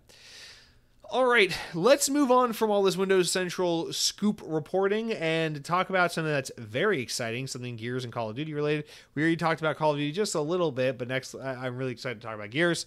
So this is from VGC and The Verge, a little bit of both. Uh, but Microsoft is reportedly planning to unveil a new Gears of War and Call of Duty game at its traditional Xbox Summer Showcase. Uh, the same one that I guessed was on June 9th, and not because I knew it was on June 9th. That's according to The Verge, which claims that the event is currently planned for Sunday, June 9th. So it's not confirmed, but it's probably definitely confirmed. Quote, as the Xbox strategy continues to evolve inside Microsoft and Choudhry's departure triggers more shakeups, Microsoft is in the middle of planning a new summer um, event or Xbox showcase, wrote journalist Tom Warren of The Verge. Quote, I understand that it is set to take place on Sunday, June 9th, and Microsoft is currently planning to announce a new Gears of War game at the show. A Gears announcement won't be the only new Xbox game at the show, which is also included uh, which will also include release dates for upcoming games like Microsoft Flight Simulator 24, Avowed, Indiana Jones and the Great Circle, and of course, the new Call of Duty set to debut later in the year. The Verge Reporter's account is the second time this week word of a potential Gears of War reveal has entered the news cycle because during the latest episode of Kind of Funny Xcast, host Paris Lilly made a prediction that Gears 6 would arrive this summer, a prediction which was seemingly verified by that episode's guest, which was none other than Giant Bomb's Jeff Grubb, and says, quote, I will say I've heard some stuff might happen with Gears 6 this summer. So I think that tease sounds about right to me, Paris. That seems like what we can expect. So it seems all but confirmed. We got a June 9th, Sunday, June 9th showcase event with Xbox, Call of Duty Black Ops Gulf War, Gears 6. Expect all that to be there. Very, very exciting stuff. Um, the thing about Gears 6, though, is that it must be pretty early along development, so I don't really know what they'll have. I feel like this will be a cinematic trailer and a title splash, you know, um, which is a little unfortunate because it's like been it's been so long since Gears Five, and Gears Five ends on such a cliffhanger. But it is exciting nonetheless to see that we're getting some movement in the Gears franchise, especially because it's desperately needed. We haven't had um, co- the coalition go in a while, and this this generation desperately needs uh, just some grounding at this point with uh, some of the mainstays. In addition to all the new and exciting stuff, all the new teams that I've acquired that are supporting Xbox, it's just it's good to see the old reliables, your Forzas, your Halos, your Gears, and uh, this generation is sorely lacking the support from the coalition and in that latest Gears title. So I'm really going to look forward to seeing um, that support and see that kind of more traditional Xbox IP pop pop up and, and come support this uh, generation that has been full of very high highs and very low lows. So very excited about that. All right, and then with that said, that will take us into our before we get into the China stuff, let's talk about Hellblade. So this is a big one. I feel like this is this is the other big controversy. This is the more reasonable controversy aside from the uh, the store the the spring sale with the pop up ad on Xbox that people are complaining about. So we got I guess one big chunk one one news story really to talk about, but it's a combination of three smaller stories. So let's just talk about them all together and we can kind of attack this from different angles. So VGC's write ups following reports from IGN, Polygon, and GamePro, which I believe is like a Dutch or German uh, games publication online. Uh, Hellblade 2 Senua's Saga developer Ninja Theory thinks that fans enjoy shorter, more focused game experiences. The Microsoft owned team announced recently that Hellblade 2 will be released on May 21st for Xbox Series and PC. Also confirmed that the game will be digital only, costing 50 bucks and will last as long as its predecessor, which only took players about 8 hours to complete. Quote, I think we always set out to do what we always set out to do is to tell a story for more for the game length to be appropriate for the story that we want to tell. Ninja Theory studio head Dom Matthews said to IGN. So it's really not a case of setting out to make a shorter experience. I think it is there is a story that we want to tell here, beginning, middle, and an end. And so the right shape and size of that experience to tell what you know what is it. So that's kind of where we start. Matthew said digital distribution has opened up a space for gamers of all shape, games of all shapes and sizes. He adds, "quote I'm really pleased to see that there's a lot of people that actually enjoy a shooter a shorter experience, something that they can sit down on whatever Friday night, stick their headphones on, turn the lights off, and kind of sink into an experience and play, and who don't necessarily want something that is 50 hours or 100 hours long, so long as it's it's it's only as long as it needs to be. And I'm one of those people. I like shorter games. I think there's a lot of pressure on people these days um, with their free time, and I think our fans, from what we hear they enjoy shorter games uh, where our intention is is that every step of the journey is meaningful and that there's an audience of people that want these games that are focused. So i actually wholeheartedly agree with everything he's saying and this is the kind of stuff that makes me excited about hellblade is i hellblade 2 is i feel like it's going to be a a lean meat and potatoes game where they only have the stuff that they want to share with you and that the game's not going to be full of padding and nonsense and like, oh, you like that first game? Well, what if now Senua has a quick quick travel option and it's an open world game and this is a companion quest you can do and uh, friends can enter in your world and leave souls behind so you can uh, take on quests and shout. I, I love that they're just like, no, no, no. We have a very tailored, linear, specific story we want we want players to experience. And we're going to make that because it's what we want, and we think you guys will appreciate it. And at least you know when you're playing a game like Hellblade 2 that you're going to be playing a game that is a thoughtfully crafted experience from stem to stern, even if you think it's a short game, uh, as opposed to something like Far Cry 27, where it's just going to be like a really fun 15 hour campaign with 150 hours of nonsense sprinkled around a giant map just for the sake of justifying a $70 price tag and getting you to buy it. And that's, I feel bad. I always use Far Cry as the example. I love Far Cry, but you know, it's just such a great example from the point I'm trying to make. So as, you know, as a side point, but I don't know. I, I, love, I love this perspective and this point of view. And this is the kind of stuff that keeps me optimistic about Hellblade 2.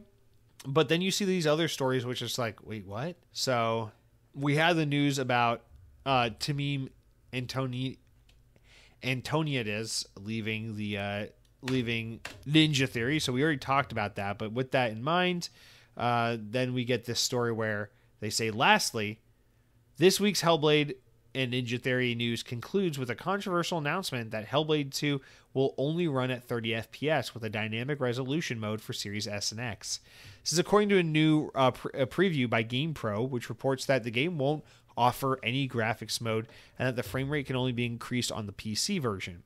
The game's visual effects director, Mark Slater, um, reports reportedly told the site that the decision should make the experience feel more cinematic, similar to movies that run at 24 FPS. Another major first party Xbox Series X and S game, Starfield, also had a frame rate locked to 30 FPS. So we got the co creator slash uh, creative lead left the team. We got the game only runs at 30 FPS. And we got these quotes that players like shorter, more curated experiences. Eli da Silvia, or maybe it's Elida Silvia. I'm sorry if I'm butchering your name. It's all written as one word, so I'm just kind of guessing. I'll say Eli da Silvia writes in and says, Can't wait for next week's episode when you talk about Hellblade 2 and it being locked to 30 FPS, which a lot of podcasters that I've been listening to have been ignoring, glossing over, um, or just giving bad takes on. Well, thank you for writing in. I appreciate you participating and uh, being here for the podcast, and thank you. I hope uh, hope we're able to do this conversation justice for you. But um, all right, let's let's talk about it. So, I don't really think the the the co- studio co-creator leaving has really much to do with this. Although I still think that is a little weird. That that was just not that that was just news that wasn't really discussed or shared with the world for many many years, and it kind of had to be found out by someone being like, "Wait, where the fuck is this guy?" So I still think that's weird, but I feel really good about this game being the shorter, more curated experience. But here's the thing the game was announced in 2019, so over four years ago. The game was announced alongside the Xbox Series X, which is a box that's been marketed as the most powerful console of all time. The game has been teased and teased and teased, but seldomly shown and they've been really gun shy about like showing off combat and showing off the expansiveness of the game. And so it's just everything with the way this game has been handled, announced, marketed alongside Xbox Series X, all these things has naturally led to an audience and a market perception that this game is going to be the most stunning looking game you've ever seen, super groundbreaking, next gen is all hell. Uh, it's going to take what the first game did and run with it and do something so much bigger. It's going to be the most AAA Sony killer type game that Xbox has ever made. This is their response to God of War, right? And that was kind of like the perception that was set forth. Did Microsoft ever say any of these things about the game? No. Did Ninja Theory ever say any of these things about the game? No. But is there a certain amount of insinuation that can be made when you announce this game as the way you want to introduce the world to the next generation of Xbox? Mind you, the generation of Xbox that's supposed to right the wrongs of the Xbox One, supposed to be super powerful, supposed to be all about the games, all about the gamer, and all about we have the games and we have a full, handsome library. So when you position this game in that way and then you're dodgy about it and gun shy about the game for years to come, it is understandable that at the very least the perception and expectation of the audience is this game is going to give it to you. This is going to be the fucking game. Okay? So I get that. Now, looking at a smaller team, you know, Ninja Theory is not a small team, but they're a medium-sized team. They're not they're not a fucking uh, 343 size team.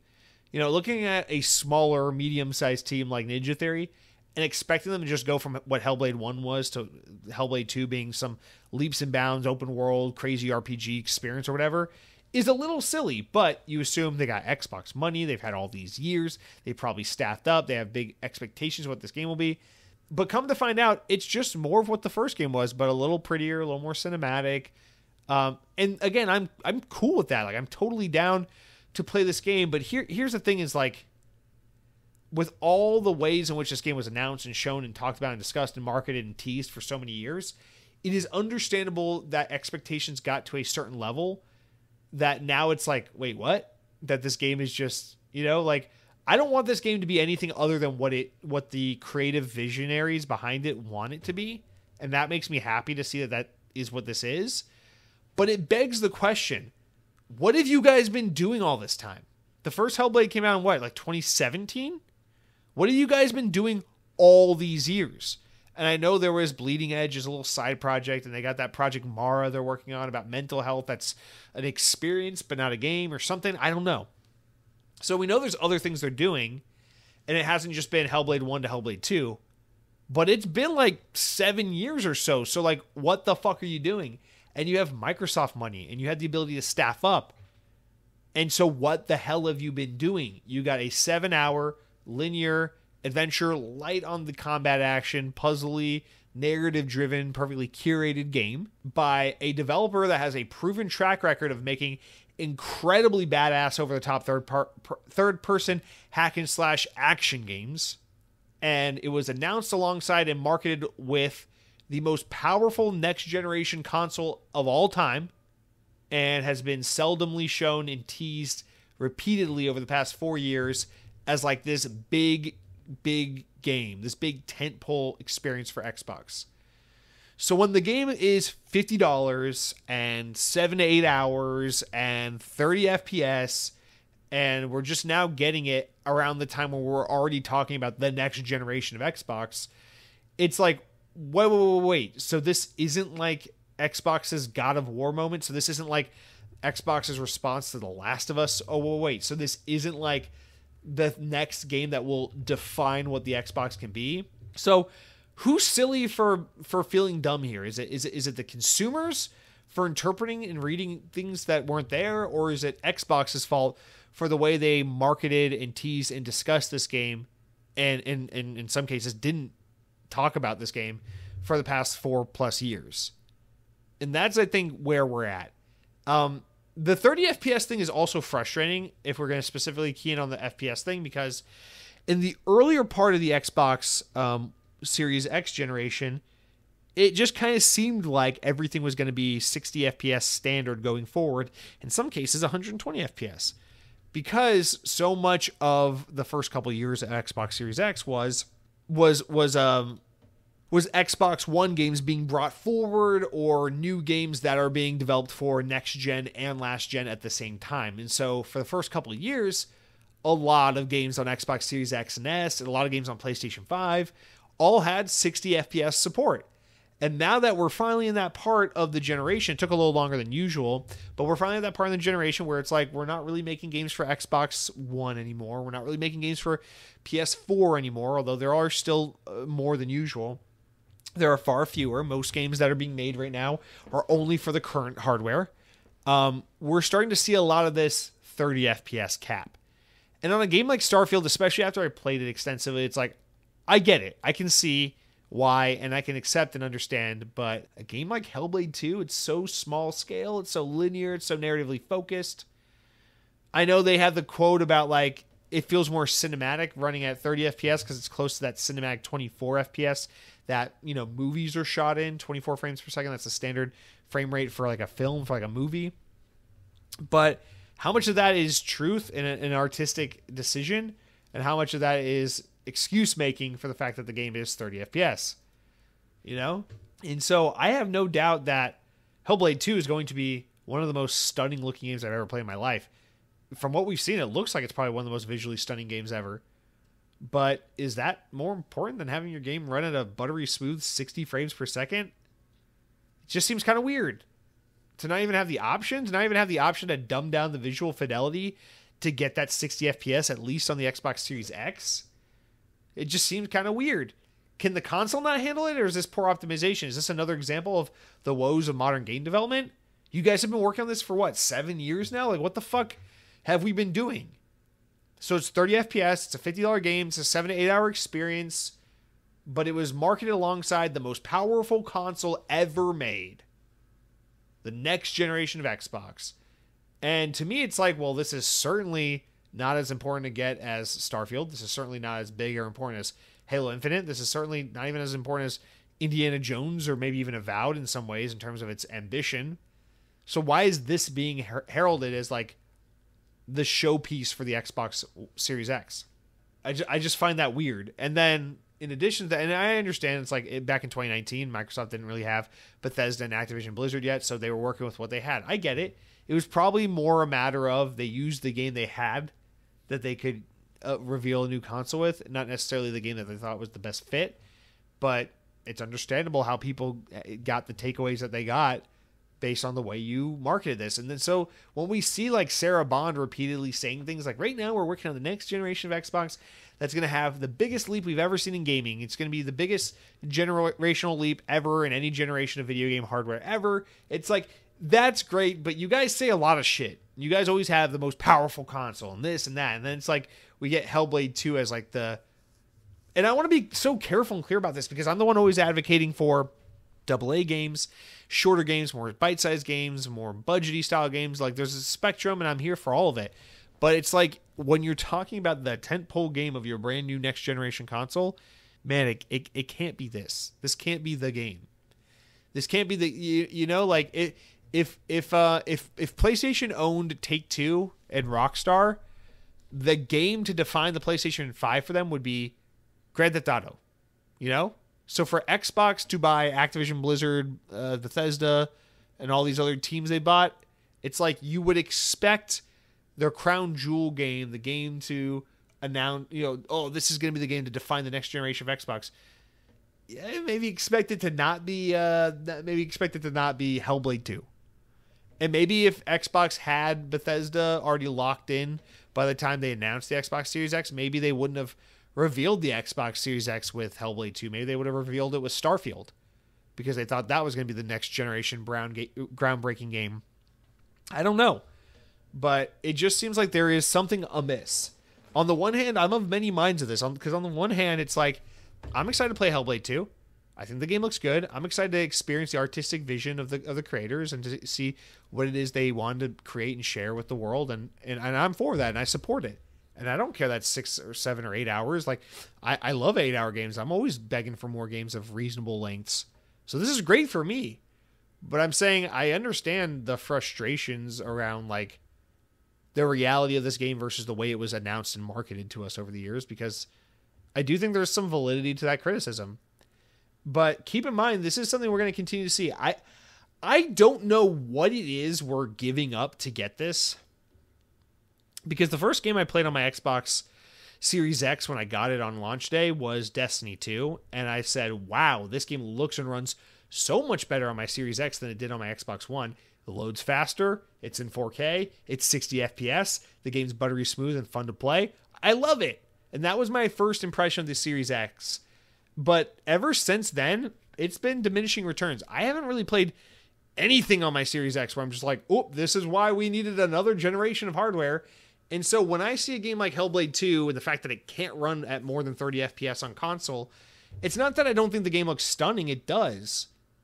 But it's like, I don't know, this game could have looked like a little bit less pretty and it would have still been a very pretty game and then it could have maybe run at 60 FPS, or this game could have been a slightly less pretty game and it still would have been a very pretty game, and then it could just be an Xbox One game. So, like, at this point, it's like the fact that these games can't hit certain frame rates. Uh, they, there's no like j- defining gameplay mechanic or feature set that I've seen in a game that like really uh, says like, oh, this is why Xbox Series X. Like, I love my Series X because quick resume and how fast it is, but like I don't know, man. On PlayStation 5 and Xbox, I, I just don't feel like I've really seen a game that's like, this is why we needed 20 billion teraflops. This is why you needed to buy a new $500 box. It's like, I'm sure there's stuff under the hood that my feeble brain that does, doesn't know anything couldn't comprehend about why these games are so high fidelity compared to Xbox One games from 10 years ago. But from a complete layman just staring at the TV and looking at you know Suicide Squad Kill the Justice League and comparing that to uh, 10 years ago when I was playing Wolfenstein the New Order or whatever on my Xbox 1 I look at the two and I'm like I don't really see the generational difference at all I, I don't I don't get what's better now I, I, I just I just feel like I'm playing a, a snappier faster Xbox One and so I don't know, like I try not, not to get too high. I'm excited about the prospect of Xbox making a handheld, but I'm not necessarily shaking in my boots. Ooh, it's gonna be ooh, it's gonna be the most uh, the most groundbreaking, revolutionary leap in power a console has ever experienced. Yeah, yeah, whatever. The most groundbreaking jump in technology was like the SNES to the N64 or the Xbox to the Xbox 360. Stuff like like those kinds of consoles come to mind. Like it, when the Xbox Series Z or whatever the fuck it's called comes out and it just looks like the Xbox Series X, but now maybe we can keep 60 FPS more regularly.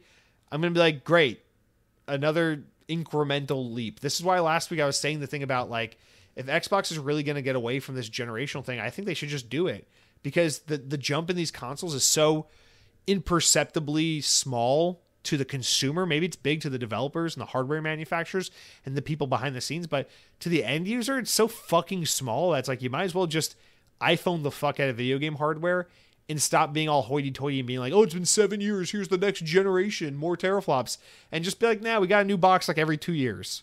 And we just call it like do what Samsung does. Just put the fucking year model on it. Call it the Xbox 26 because it came out in 2026, and then put a new one out next in 2028 and call it Xbox 28, and it'll be the 2028 model. Like just just do something like that at this point, and just do incremental updates like like iPhones and Androids at this point because you brag and brag about the fidelity, and the features, and the next generation, the power and the capability and the performance of AI. But it's like, I don't know, man. It's I'm sure there's a good reason why Hellblade 2 doesn't run at 60 FPS, but trying to feel cinematic like a 24 frame per second film, or because the Xbox Series X just isn't powerful enough, just doesn't pass the sniff test for me because I'm just I'm just looking at my Xbox Series X and maybe I'm just a fucking luddite, but I don't know. Games don't look and feel that much more next gen to me.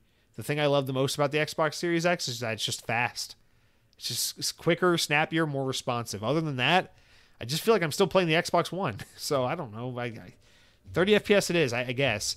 I, I, understand both perspectives on this one. I think it's uh, it sounds a little silly to me that this game can't be 60 FPS, but at the same time, there must be some fucking magic behind this game that prevents it from being 60 FPS. But if that's the case, I mean, goddamn, games already look good enough. Just make it look slightly less amazing so we can have a higher frame rate if that's all it takes. I don't I don't know if it's that easy, but whatever.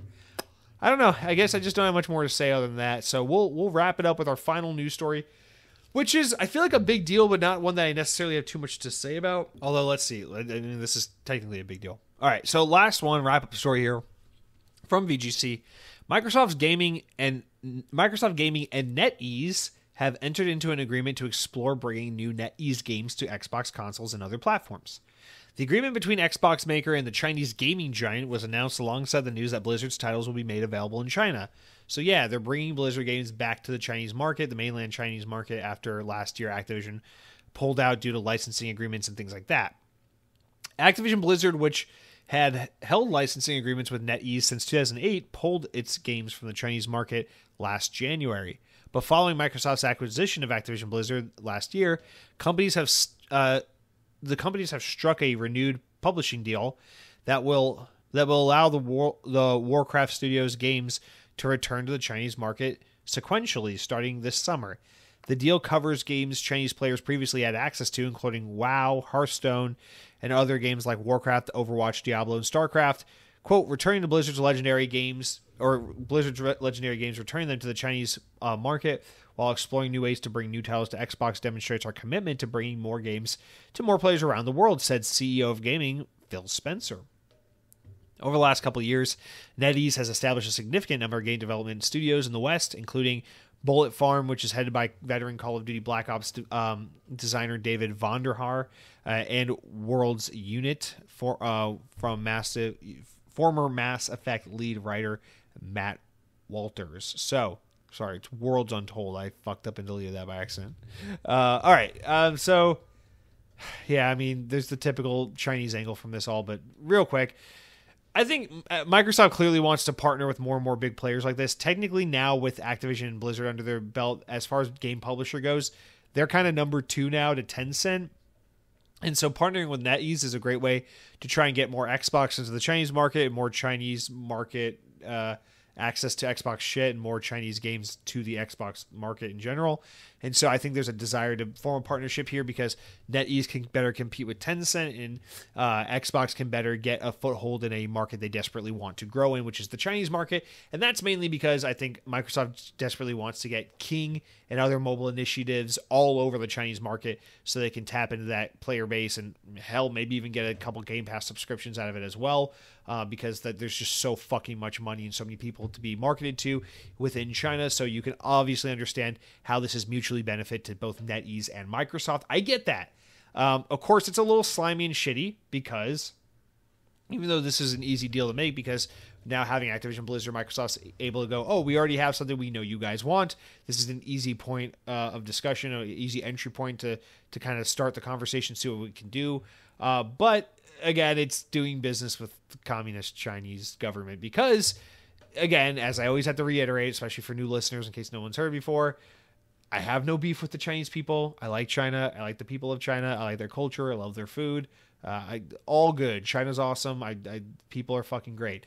This is purely just a beef pertaining to the Chinese government, which is absolute ass. The problem is the Chinese government runs these companies and has too much control over these companies, and too many, too high a percentage of these companies are usually operated by executives that are CCP affiliated personnel. So what ends up happening is we're just giving more and more of our American corporations, more and more of our creative content to the hands of the Chinese government. And that I'm not cool with. I want the Chinese people to be able to play these games, and I want to be able to play the games created by the Chinese developers and creators who have great art to share with the world. I think that's great. I love cultural exchange, and I'm all for a more unified bond between the people of China and the people of the US and the people of the world. However, fuck the Chinese government. And the problem is, with this comes the inevitable uh, kowtowing that every major corporation in the West has to do when doing business with China. And so, inevitably, this means to some extent, Activision, Blizzard games, Xbox games, Microsoft products are going to have to be overlooked by, edited, and censored by the Chinese in order to make it appropriate for that market. And what's going to happen is we're going to have creative art from creative not free. I'm not some fucking like bleed red, white, and blue fucking ignorant fool, but you know, a nation like the US where people are decidedly more free, and at least in an artistic expe- ex- uh, sense, to express themselves and put their own thoughts and ideas out into the world. Those people are now going to be checked by the Chinese government's rule set, which is if you, as a Western company, want to do business in our country, you got to abide by our rules and be put under our scrutiny, which says you can't say this, you can't represent that in the game, you can't do this and that. And uh, this is just going to be the beginning of more and more Xbox content having to be uh, subject to the will and the whim of Chinese censorship, which I'm just not a fan of because, again, Chinese people, you're cool. Chinese food, fuck yeah, it's good shit. China, the nation of China, beautiful, long history, beautiful art, incredible nation full of wonderful accomplishments and, and great history. Chinese government, eh, you can you can trip on a fucking bag of dicks and die. You, you suck. But then again, so can the U.S. government. I fucking hate them all. Anyway, the point being here, I, I just don't like this growing trend of all the Western creative fronts having to buddy up with China because there's just so much money to be made there. You got to be stupid to say no at the expense of creative freedom, artistic expression, and I don't know, decent huma- humanity. I mean, like, we're talking about a country that is trying to deny the people of Taiwan their statehood. We're talking about a country that has internment camps and, and, and, and castrates certain Muslim groups and, and things like this. So I, I mean, like we're talking about some like kind of shit people, and then being like, oh yeah, here, here, here, have our games, you know, pour through it and tell us what we have to take out of the game or change or remove or censor, um, so that you know it, it meets your standards and, and the people can have that. So I don't love that. I, I would be if there were a way for these corporations to be to reach a deal with companies like NetEase and be like, hey, we would love to bring your Chinese developed games to Western audiences and maybe get some of these games on Game Pass, I would say that's fucking cool. I would love to play some games from Chinese developers because it's clearly something I haven't had the privilege and the honor to experience mostly because we just don't get a lot of games out of China. And if there was an opportunity to get a lot of our games into the hands of the Chinese market, I'd say that's fucking awesome so long as the version of the game the Chinese market is getting is the exact same version the Western market is getting, and the version the Western market is getting slash creating is nothing shy of the game that the creatives and the creators want to create and put out into the world for people to consume and think about and enjoy. And so when you start to get these games that can't mention Taiwan and these games that can't, you know, villainize the Chinese or communists in any way because it goes against the will of of of the scrutiny that a lot of these Western products get put under, then we got a fucking problem. It's it's it's you know it's the the the, the age old case at this point because it's been almost a fucking decade now um, that it's it's like this just age old example is Disney bringing Star Wars to China when the Force Awakens came out, and the the, the forces that be looked at the Force Awakens and said, "Huh, the black guy is like pretty pretty prominently displayed on this poster, huh." Let's maybe shrink him. Let's maybe like put him in the background and make him not a big deal. We don't really like we don't really like black people here. It's like, hmm, it's kind of it's kind of a problem, right? Like maybe we uh maybe we should tell an entity that tells you something like that, hey, go fuck yourself. We don't want to do business with you because you're a piece of shit. But as we are all very well aware, the way it works in today's world is when you're talking to the American market, it's Black Lives Matter, trans rights matter, LGBT, inclusivity, d- disabled characters and all the fucking things. And then when you're doing business with with Saudi Arabia and China, it's like erase the black guy, erase the gay guy. Taiwan isn't a real country. Uh, Uyghur Muslims deserve to be in internment camps. Fuck, you know, it's like just fucking whitewashing history. And so we talk out of both sides of our mouths because at the end of the day, we don't care about human rights. We don't care about the will of the people. We don't care about creative artistic expression and, and, and the ability for people to say what they need to say in, in in their own creative products but rather money. Money money money money money. So fuck you.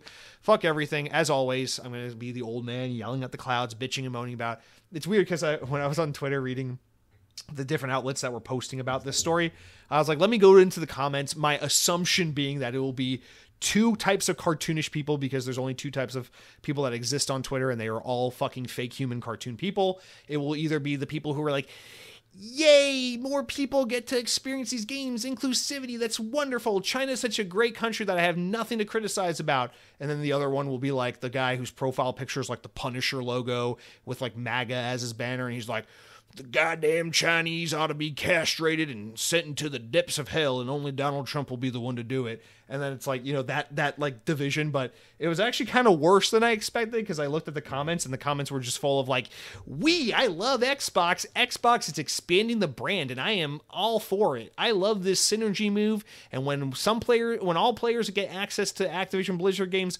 we all win. It's like okay, so now we've gone from like being mouthpieces for like fake cartoonish versions of political spectrums.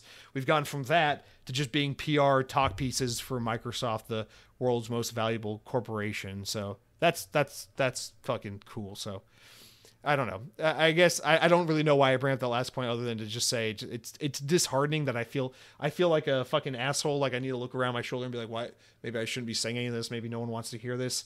But at the same point, at the same time, I'm just like, some someone ought to be maybe saying something like maybe we shouldn't just be like Microsoft is bringing Activision Blizzard games back to China and it's probably going to be done unconditionally and they're going to do it with NetEase, a giant fucking corporation that is uh, heavily influenced by the Communist Party of China. It's like okay, maybe maybe we should levy some criticism to the fact that this is happening. But from a strategic business point of view, because it's not about the rights of people, it's not about humanity, it's not about equality for all and a good, healthy um, free and expressive life. It is about money. Uh, and so, from that perspective, that actually matters. Fuck you, everyone else.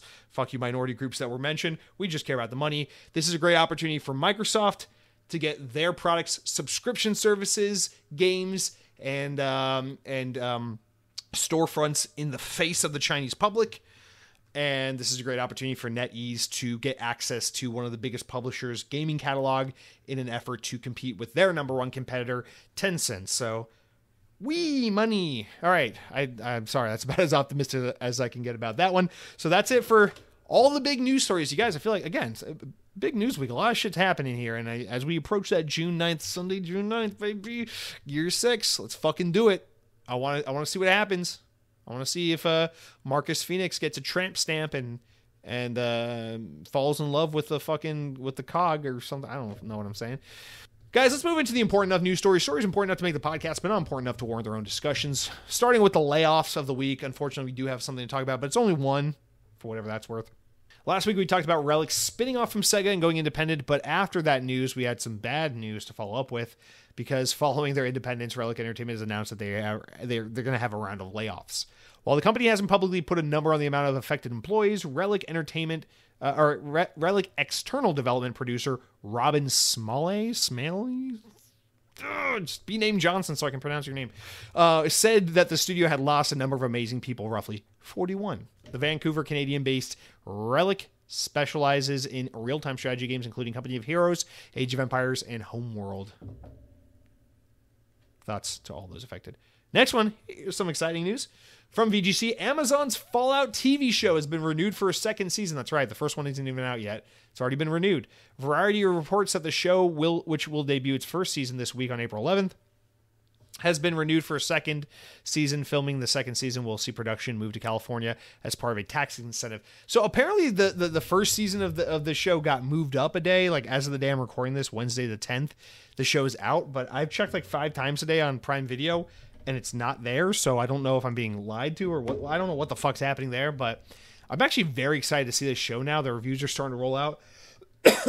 I was expecting that the show was going to be received kind of in the it's better than most video game adaptations for TV and movies, but it's not like The Last of Us good. That's kind of where I was expecting this to fall. It was like a solid 7 out of 10, but it seems like the reviews are wildly positive. Like people are saying this show is very good.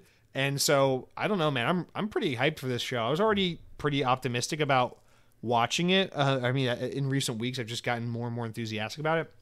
But um now I'm pretty excited. I I I think I'm gonna watch at least the first couple episodes this weekend.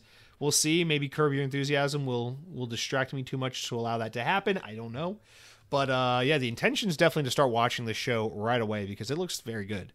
Uh, next up, VGC reports Blizzard have announced a release date for World of Warcraft Cataclysms Classic. I cannot believe that expansion is old enough to have a classic version. But the pre expansion patch, uh, which will release on April 30th, ahead of the launch on May 20th at 6 p.m. Eastern Time. Next up, Dead Space Remake. And Star Wars Squadron studio Motive is joining EA's wider Battlefield development team. Motive will work alongside EA Studios Dice Criterion Ripple Effect in building Battlefield's universe across connected multiplayer experiences and single player. It also confirmed that Battlefield's 2042 Battlefield 2042's season 7 uh, will be the last season for the game. And then finally, they said that the team is still going to continue to work on their Iron Man game, which is being led by executive producer Oliver Prolu and Ian Frazier, creative director. Um, but uh, aside from that, they're basically moving on to uh, Battlefield support work, which is a little disappointing. Apparently, they were planning on doing a Dead Space 2 remake, but they said Dead Space 1 remake uh, didn't make enough money to justify it, even though it was critically acclaimed and sold seemingly well. So that's, di- again, Spider Man sold how many copies and didn't make enough money? So, next up, speaking of Spider Man and all things owned by Disney, Disney Games has expanded its leadership team with the appointment of former Blizzard and Ubisoft veterans.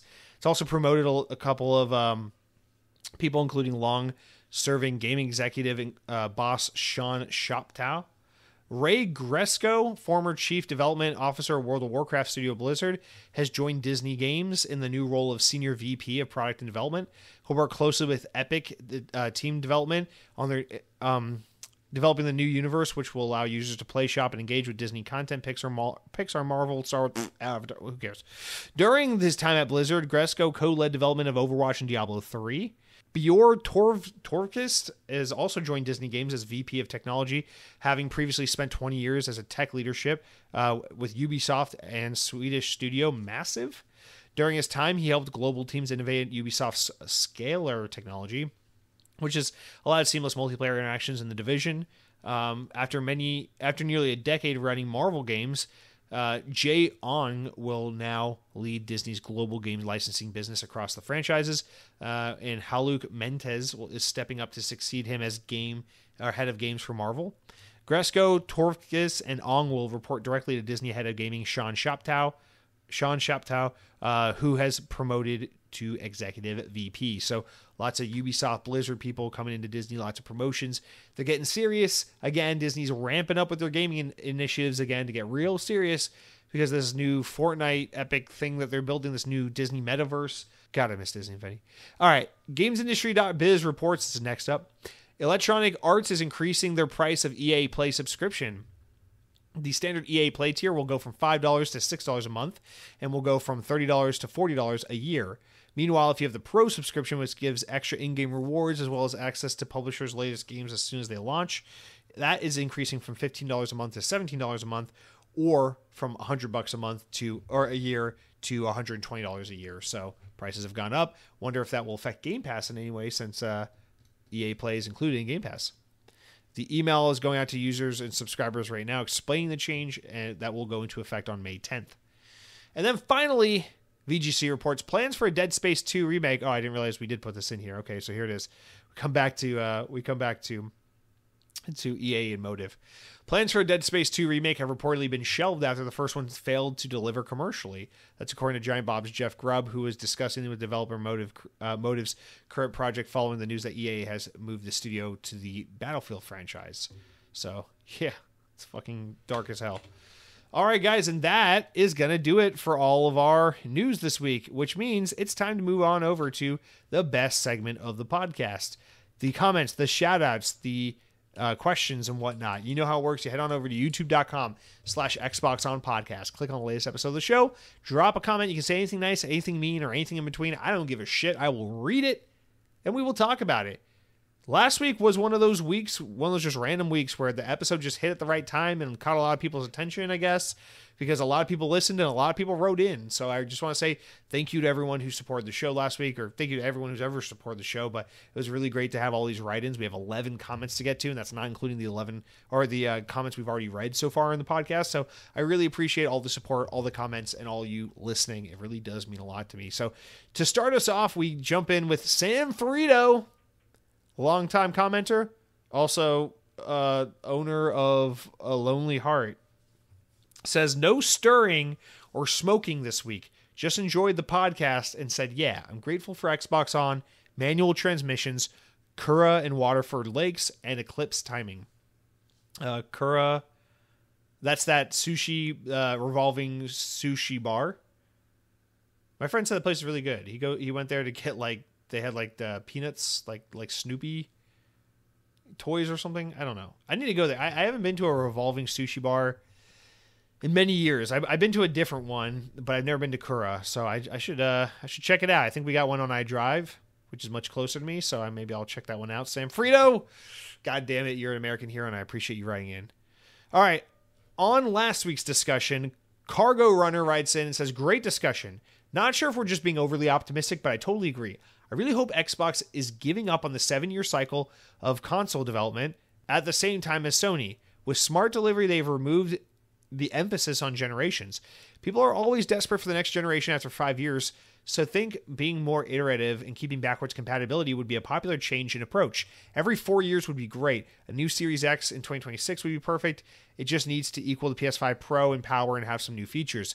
At the same time, give us the new UI across all platforms. Xbox desperately needs a new consistent UI with decent, reliable achievement system.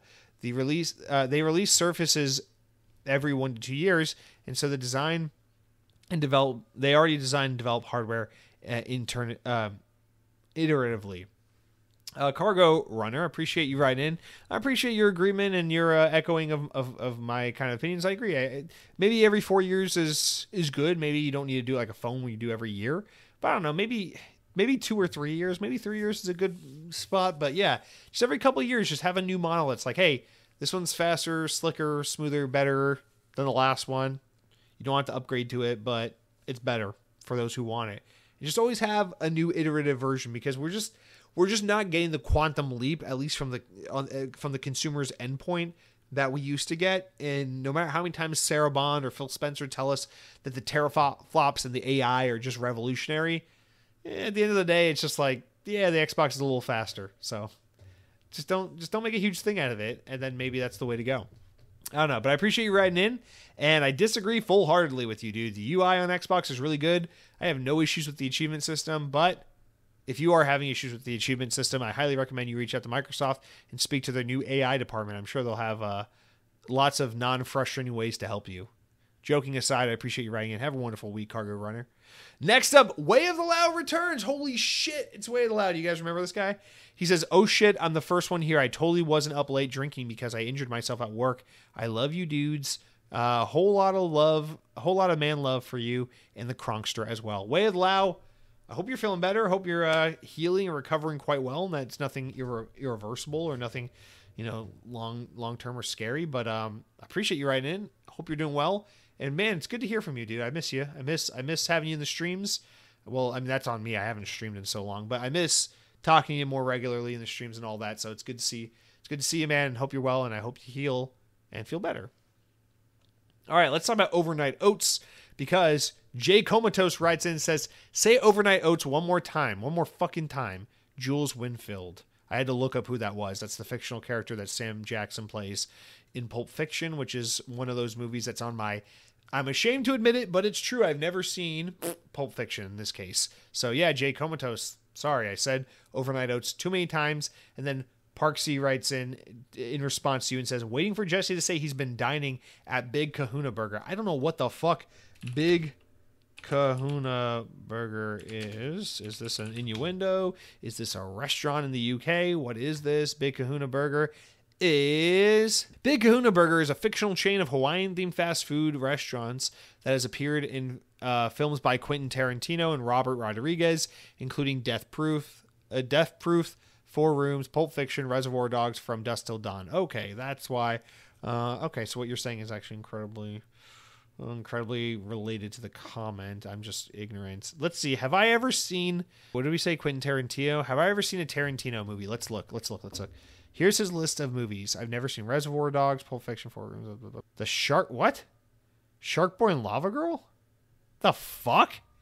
Oh, oh, it was in Shark Boy and Lava Girl, but he didn't direct that. That'd be so fucking weird. If Tarantino directed Shark Boy and Lava Girl. What if that's true? What if that's what happened? Holy crap, that'd be weird. Okay, here's his uh, here's his filmography. I've never watched Kill Bill, but I've seen it in the background a lot because my mom used to watch that. Oh, idiot, dumbass, moron! I've seen Django Unchained. Okay, so there's only one Tarantino movie I've ever seen. It's Django Unchained, and I've actually seen that movie like three times. That's weird. I've never seen any of his other movies, but I've seen Django Unchained three times. That movie's fucking awesome too. I, I love that movie.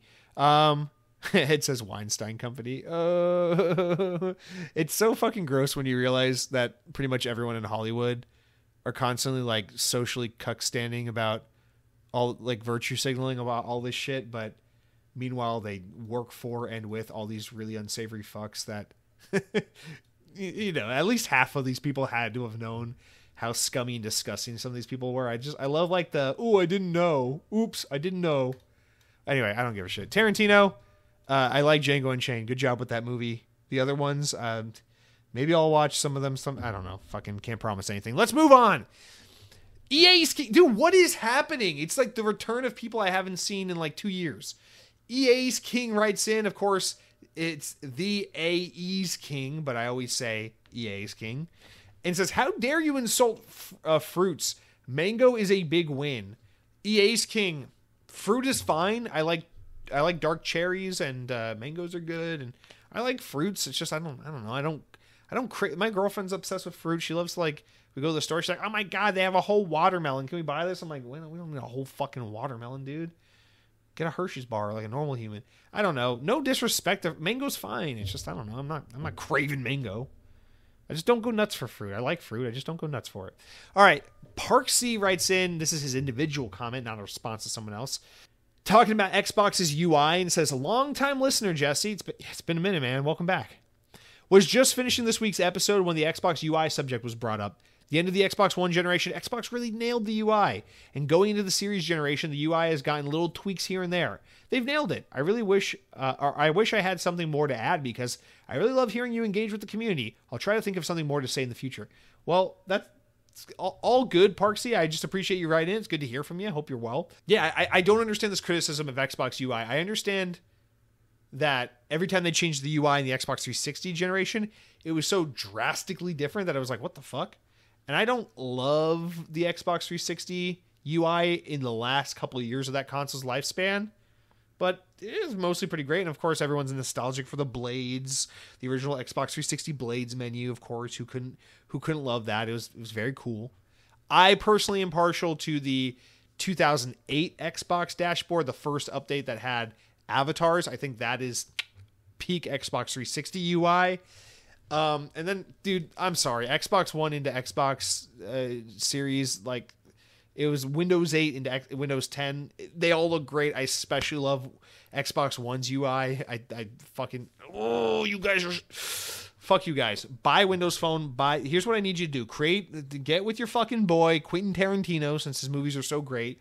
Create a fucking time machine, like in like in his movie Hot Tub Time Machine 2, and then go back in time to 2012, buy a Surface Pro, buy a Nokia Lumia, uh, get Xbox One, and say, fuck you, iPhone, fuck you, PlayStation, fuck you, MacBook, fuck you, Lenovo, fuck you, all those things, and just embrace it, dude. Embrace it because we had so good, dude. We had Microsoft Band 2, we had the Surface Oh my god, do you remember when the fucking Surface Book was revealed in 2015? Legendary moment.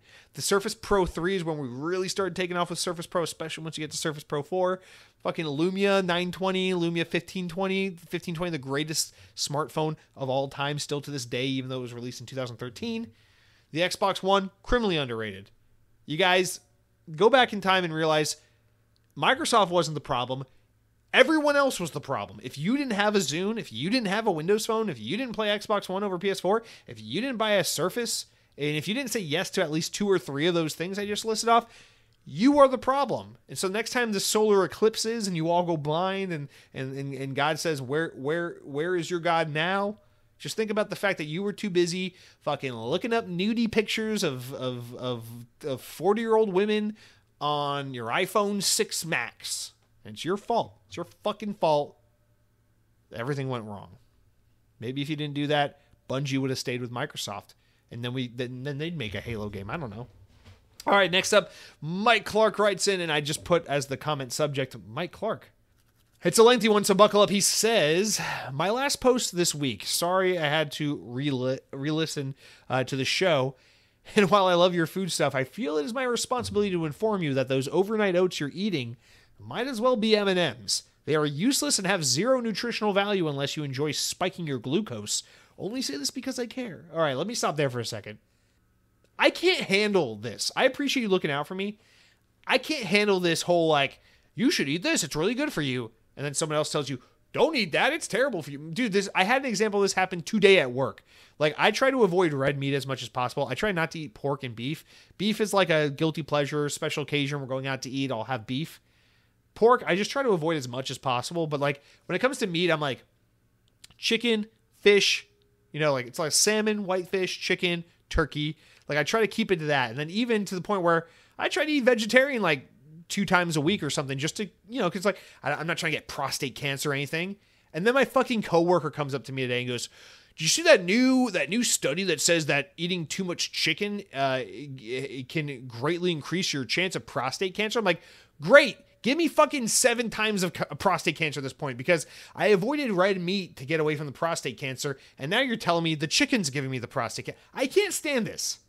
So when everyone says overnight oats are such a great healthy thing to eat because they're high in fiber and because the chia seeds have a ton of protein and because it will keep you full and you can eat fucking overnight oats in the morning and basically stay full throughout the whole day and then save your calories for dinner time and then you come in here busting down my doors of hopes and aspirations telling me the overnight oats are killing me that i'm eating the m&ms that i'm eating the green m&m that used to be a hot slutty chick who's now kind of a more conservative quote unquote progressive chick that tucker carlson has a weird sexual fashion uh, obsession with that i'm eating green m&ms and nothing more like you're killing me man First of all, it's dark chocolate I'm putting in there. I'm not putting in, it's not fucking Hershey's Kisses. I'm putting dark chocolate in there. It's predominantly just oats, oat milk, and chia seeds. And then I sweeten the deal with a little bit of dark chocolate, okay? So I might as well be eating M&Ms.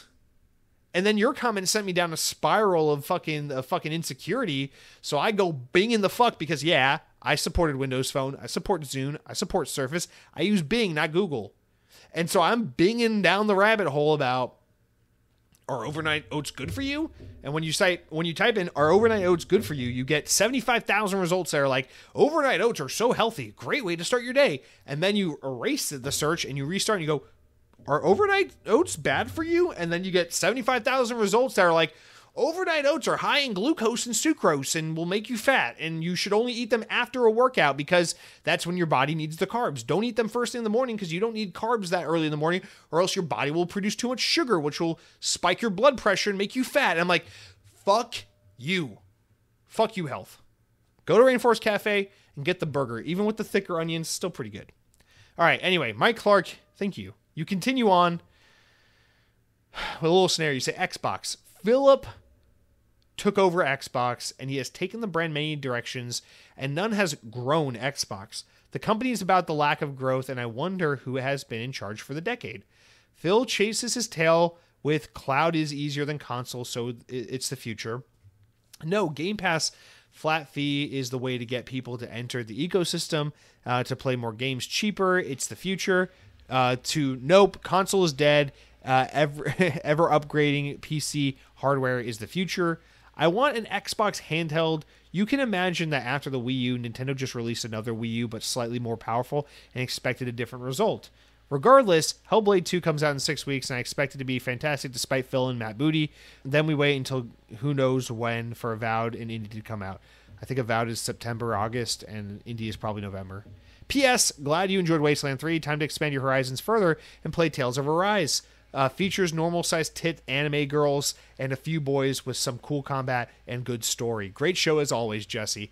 Uh, it's funny that you mentioned that because I think, as I mentioned once, when I got my Logitech G Cloud, I was like, cool, I'm going to play Tales of Arise, and then got distracted because while looking for Tales of Arise, I came across Wasteland 3 and played that instead. So actually, that was the plan all along. So I do plan on getting to Tales of Arise, though. Um, All right, a couple ways we could take this.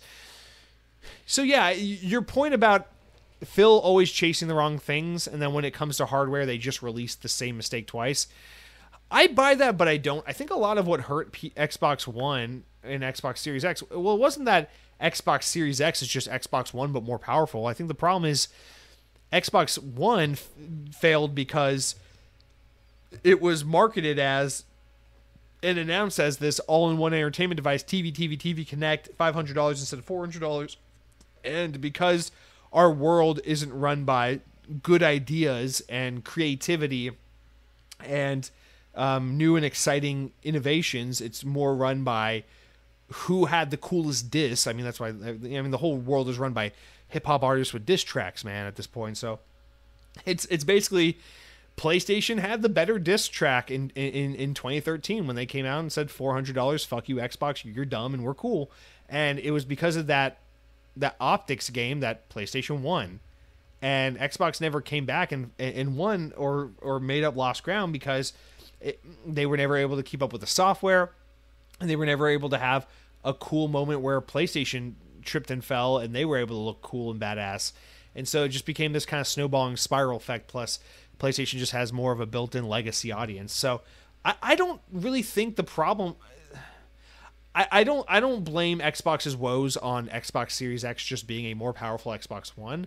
I blame it more on the damage that they did last time was at the worst possible time you could do that damage, and it was in some sense irreversible.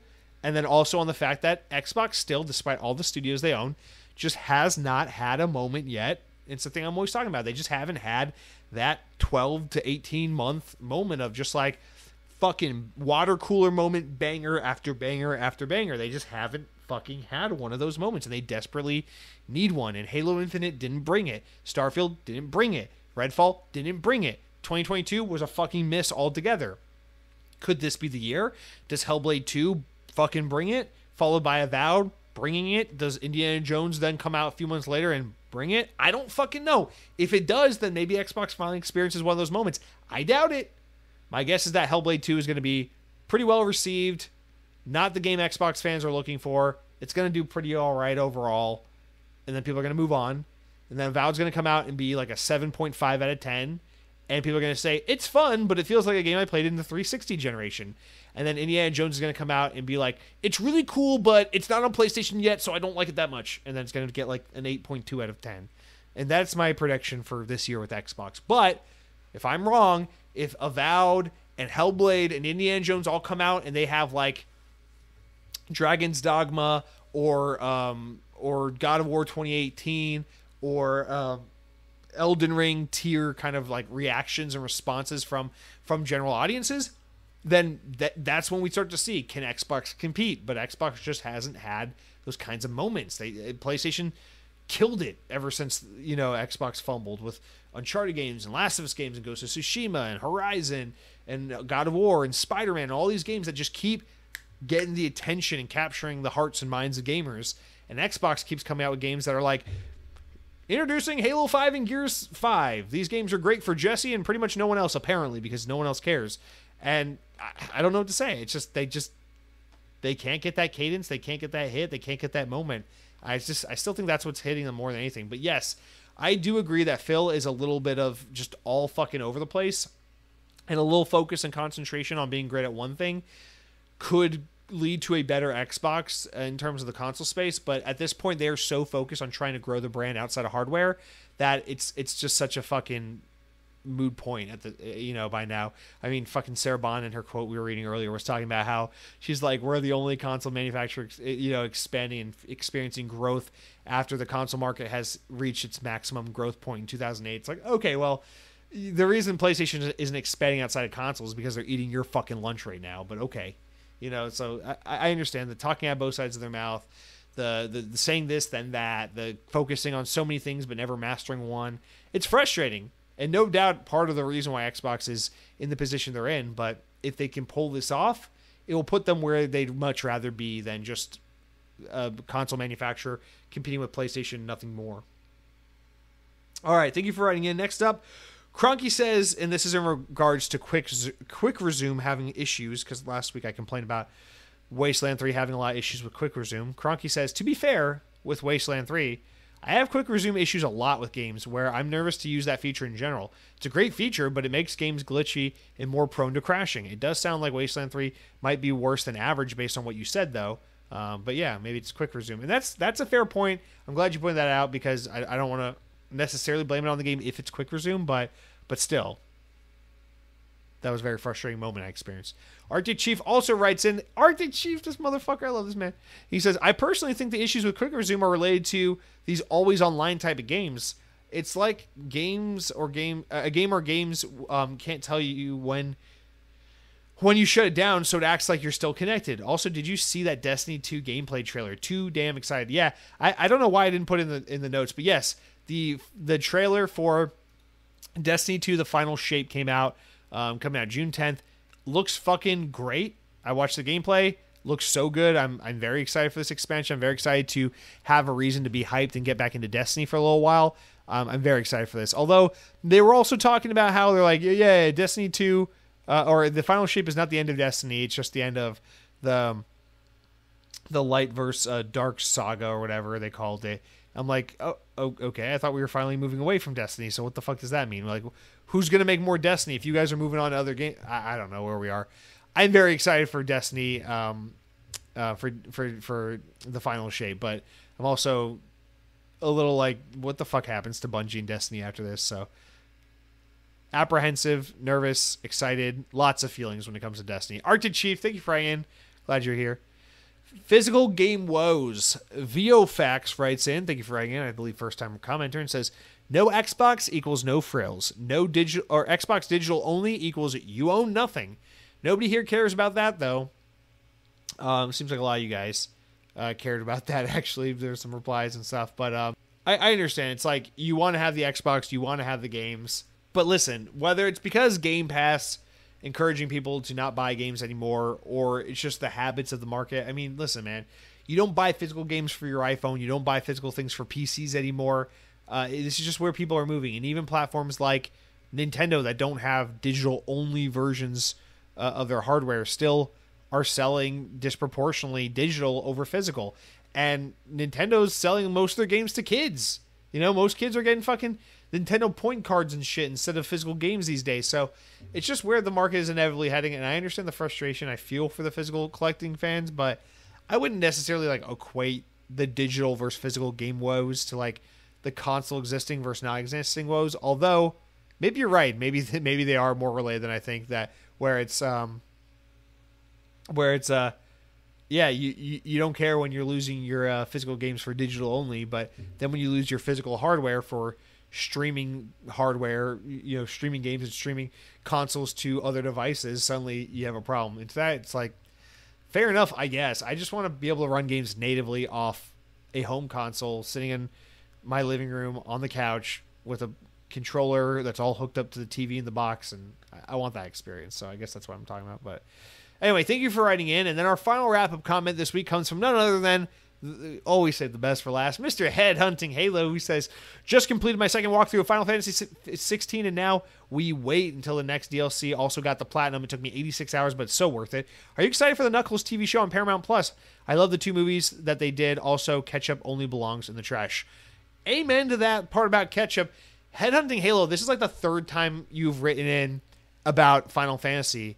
Um, I'm now kindly requesting, but not enforcing, that you write in about something other than Final Fantasy. Perhaps tell me about how your kid's doing at school. Tell me about what act- extracurricular activities you were in- involved with when you were when you were in high school. I don't know. Tell me about something, dude. Tell me about, why why is all about school? I don't fucking know. Am I having nightmares about high school again? Maybe. Headhunting Halo, thank you for writing in. Thank you everyone for writing in. You guys, that's going to do it for the show. We are at the end of the road here.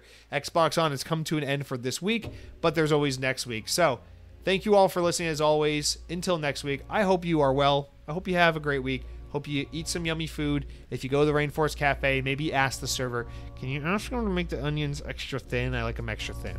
If you, uh, yeah, whatever, whatever it is you do. Hope you're well. Hope you take care. Hope you have a great week. And until next time, power your dreams.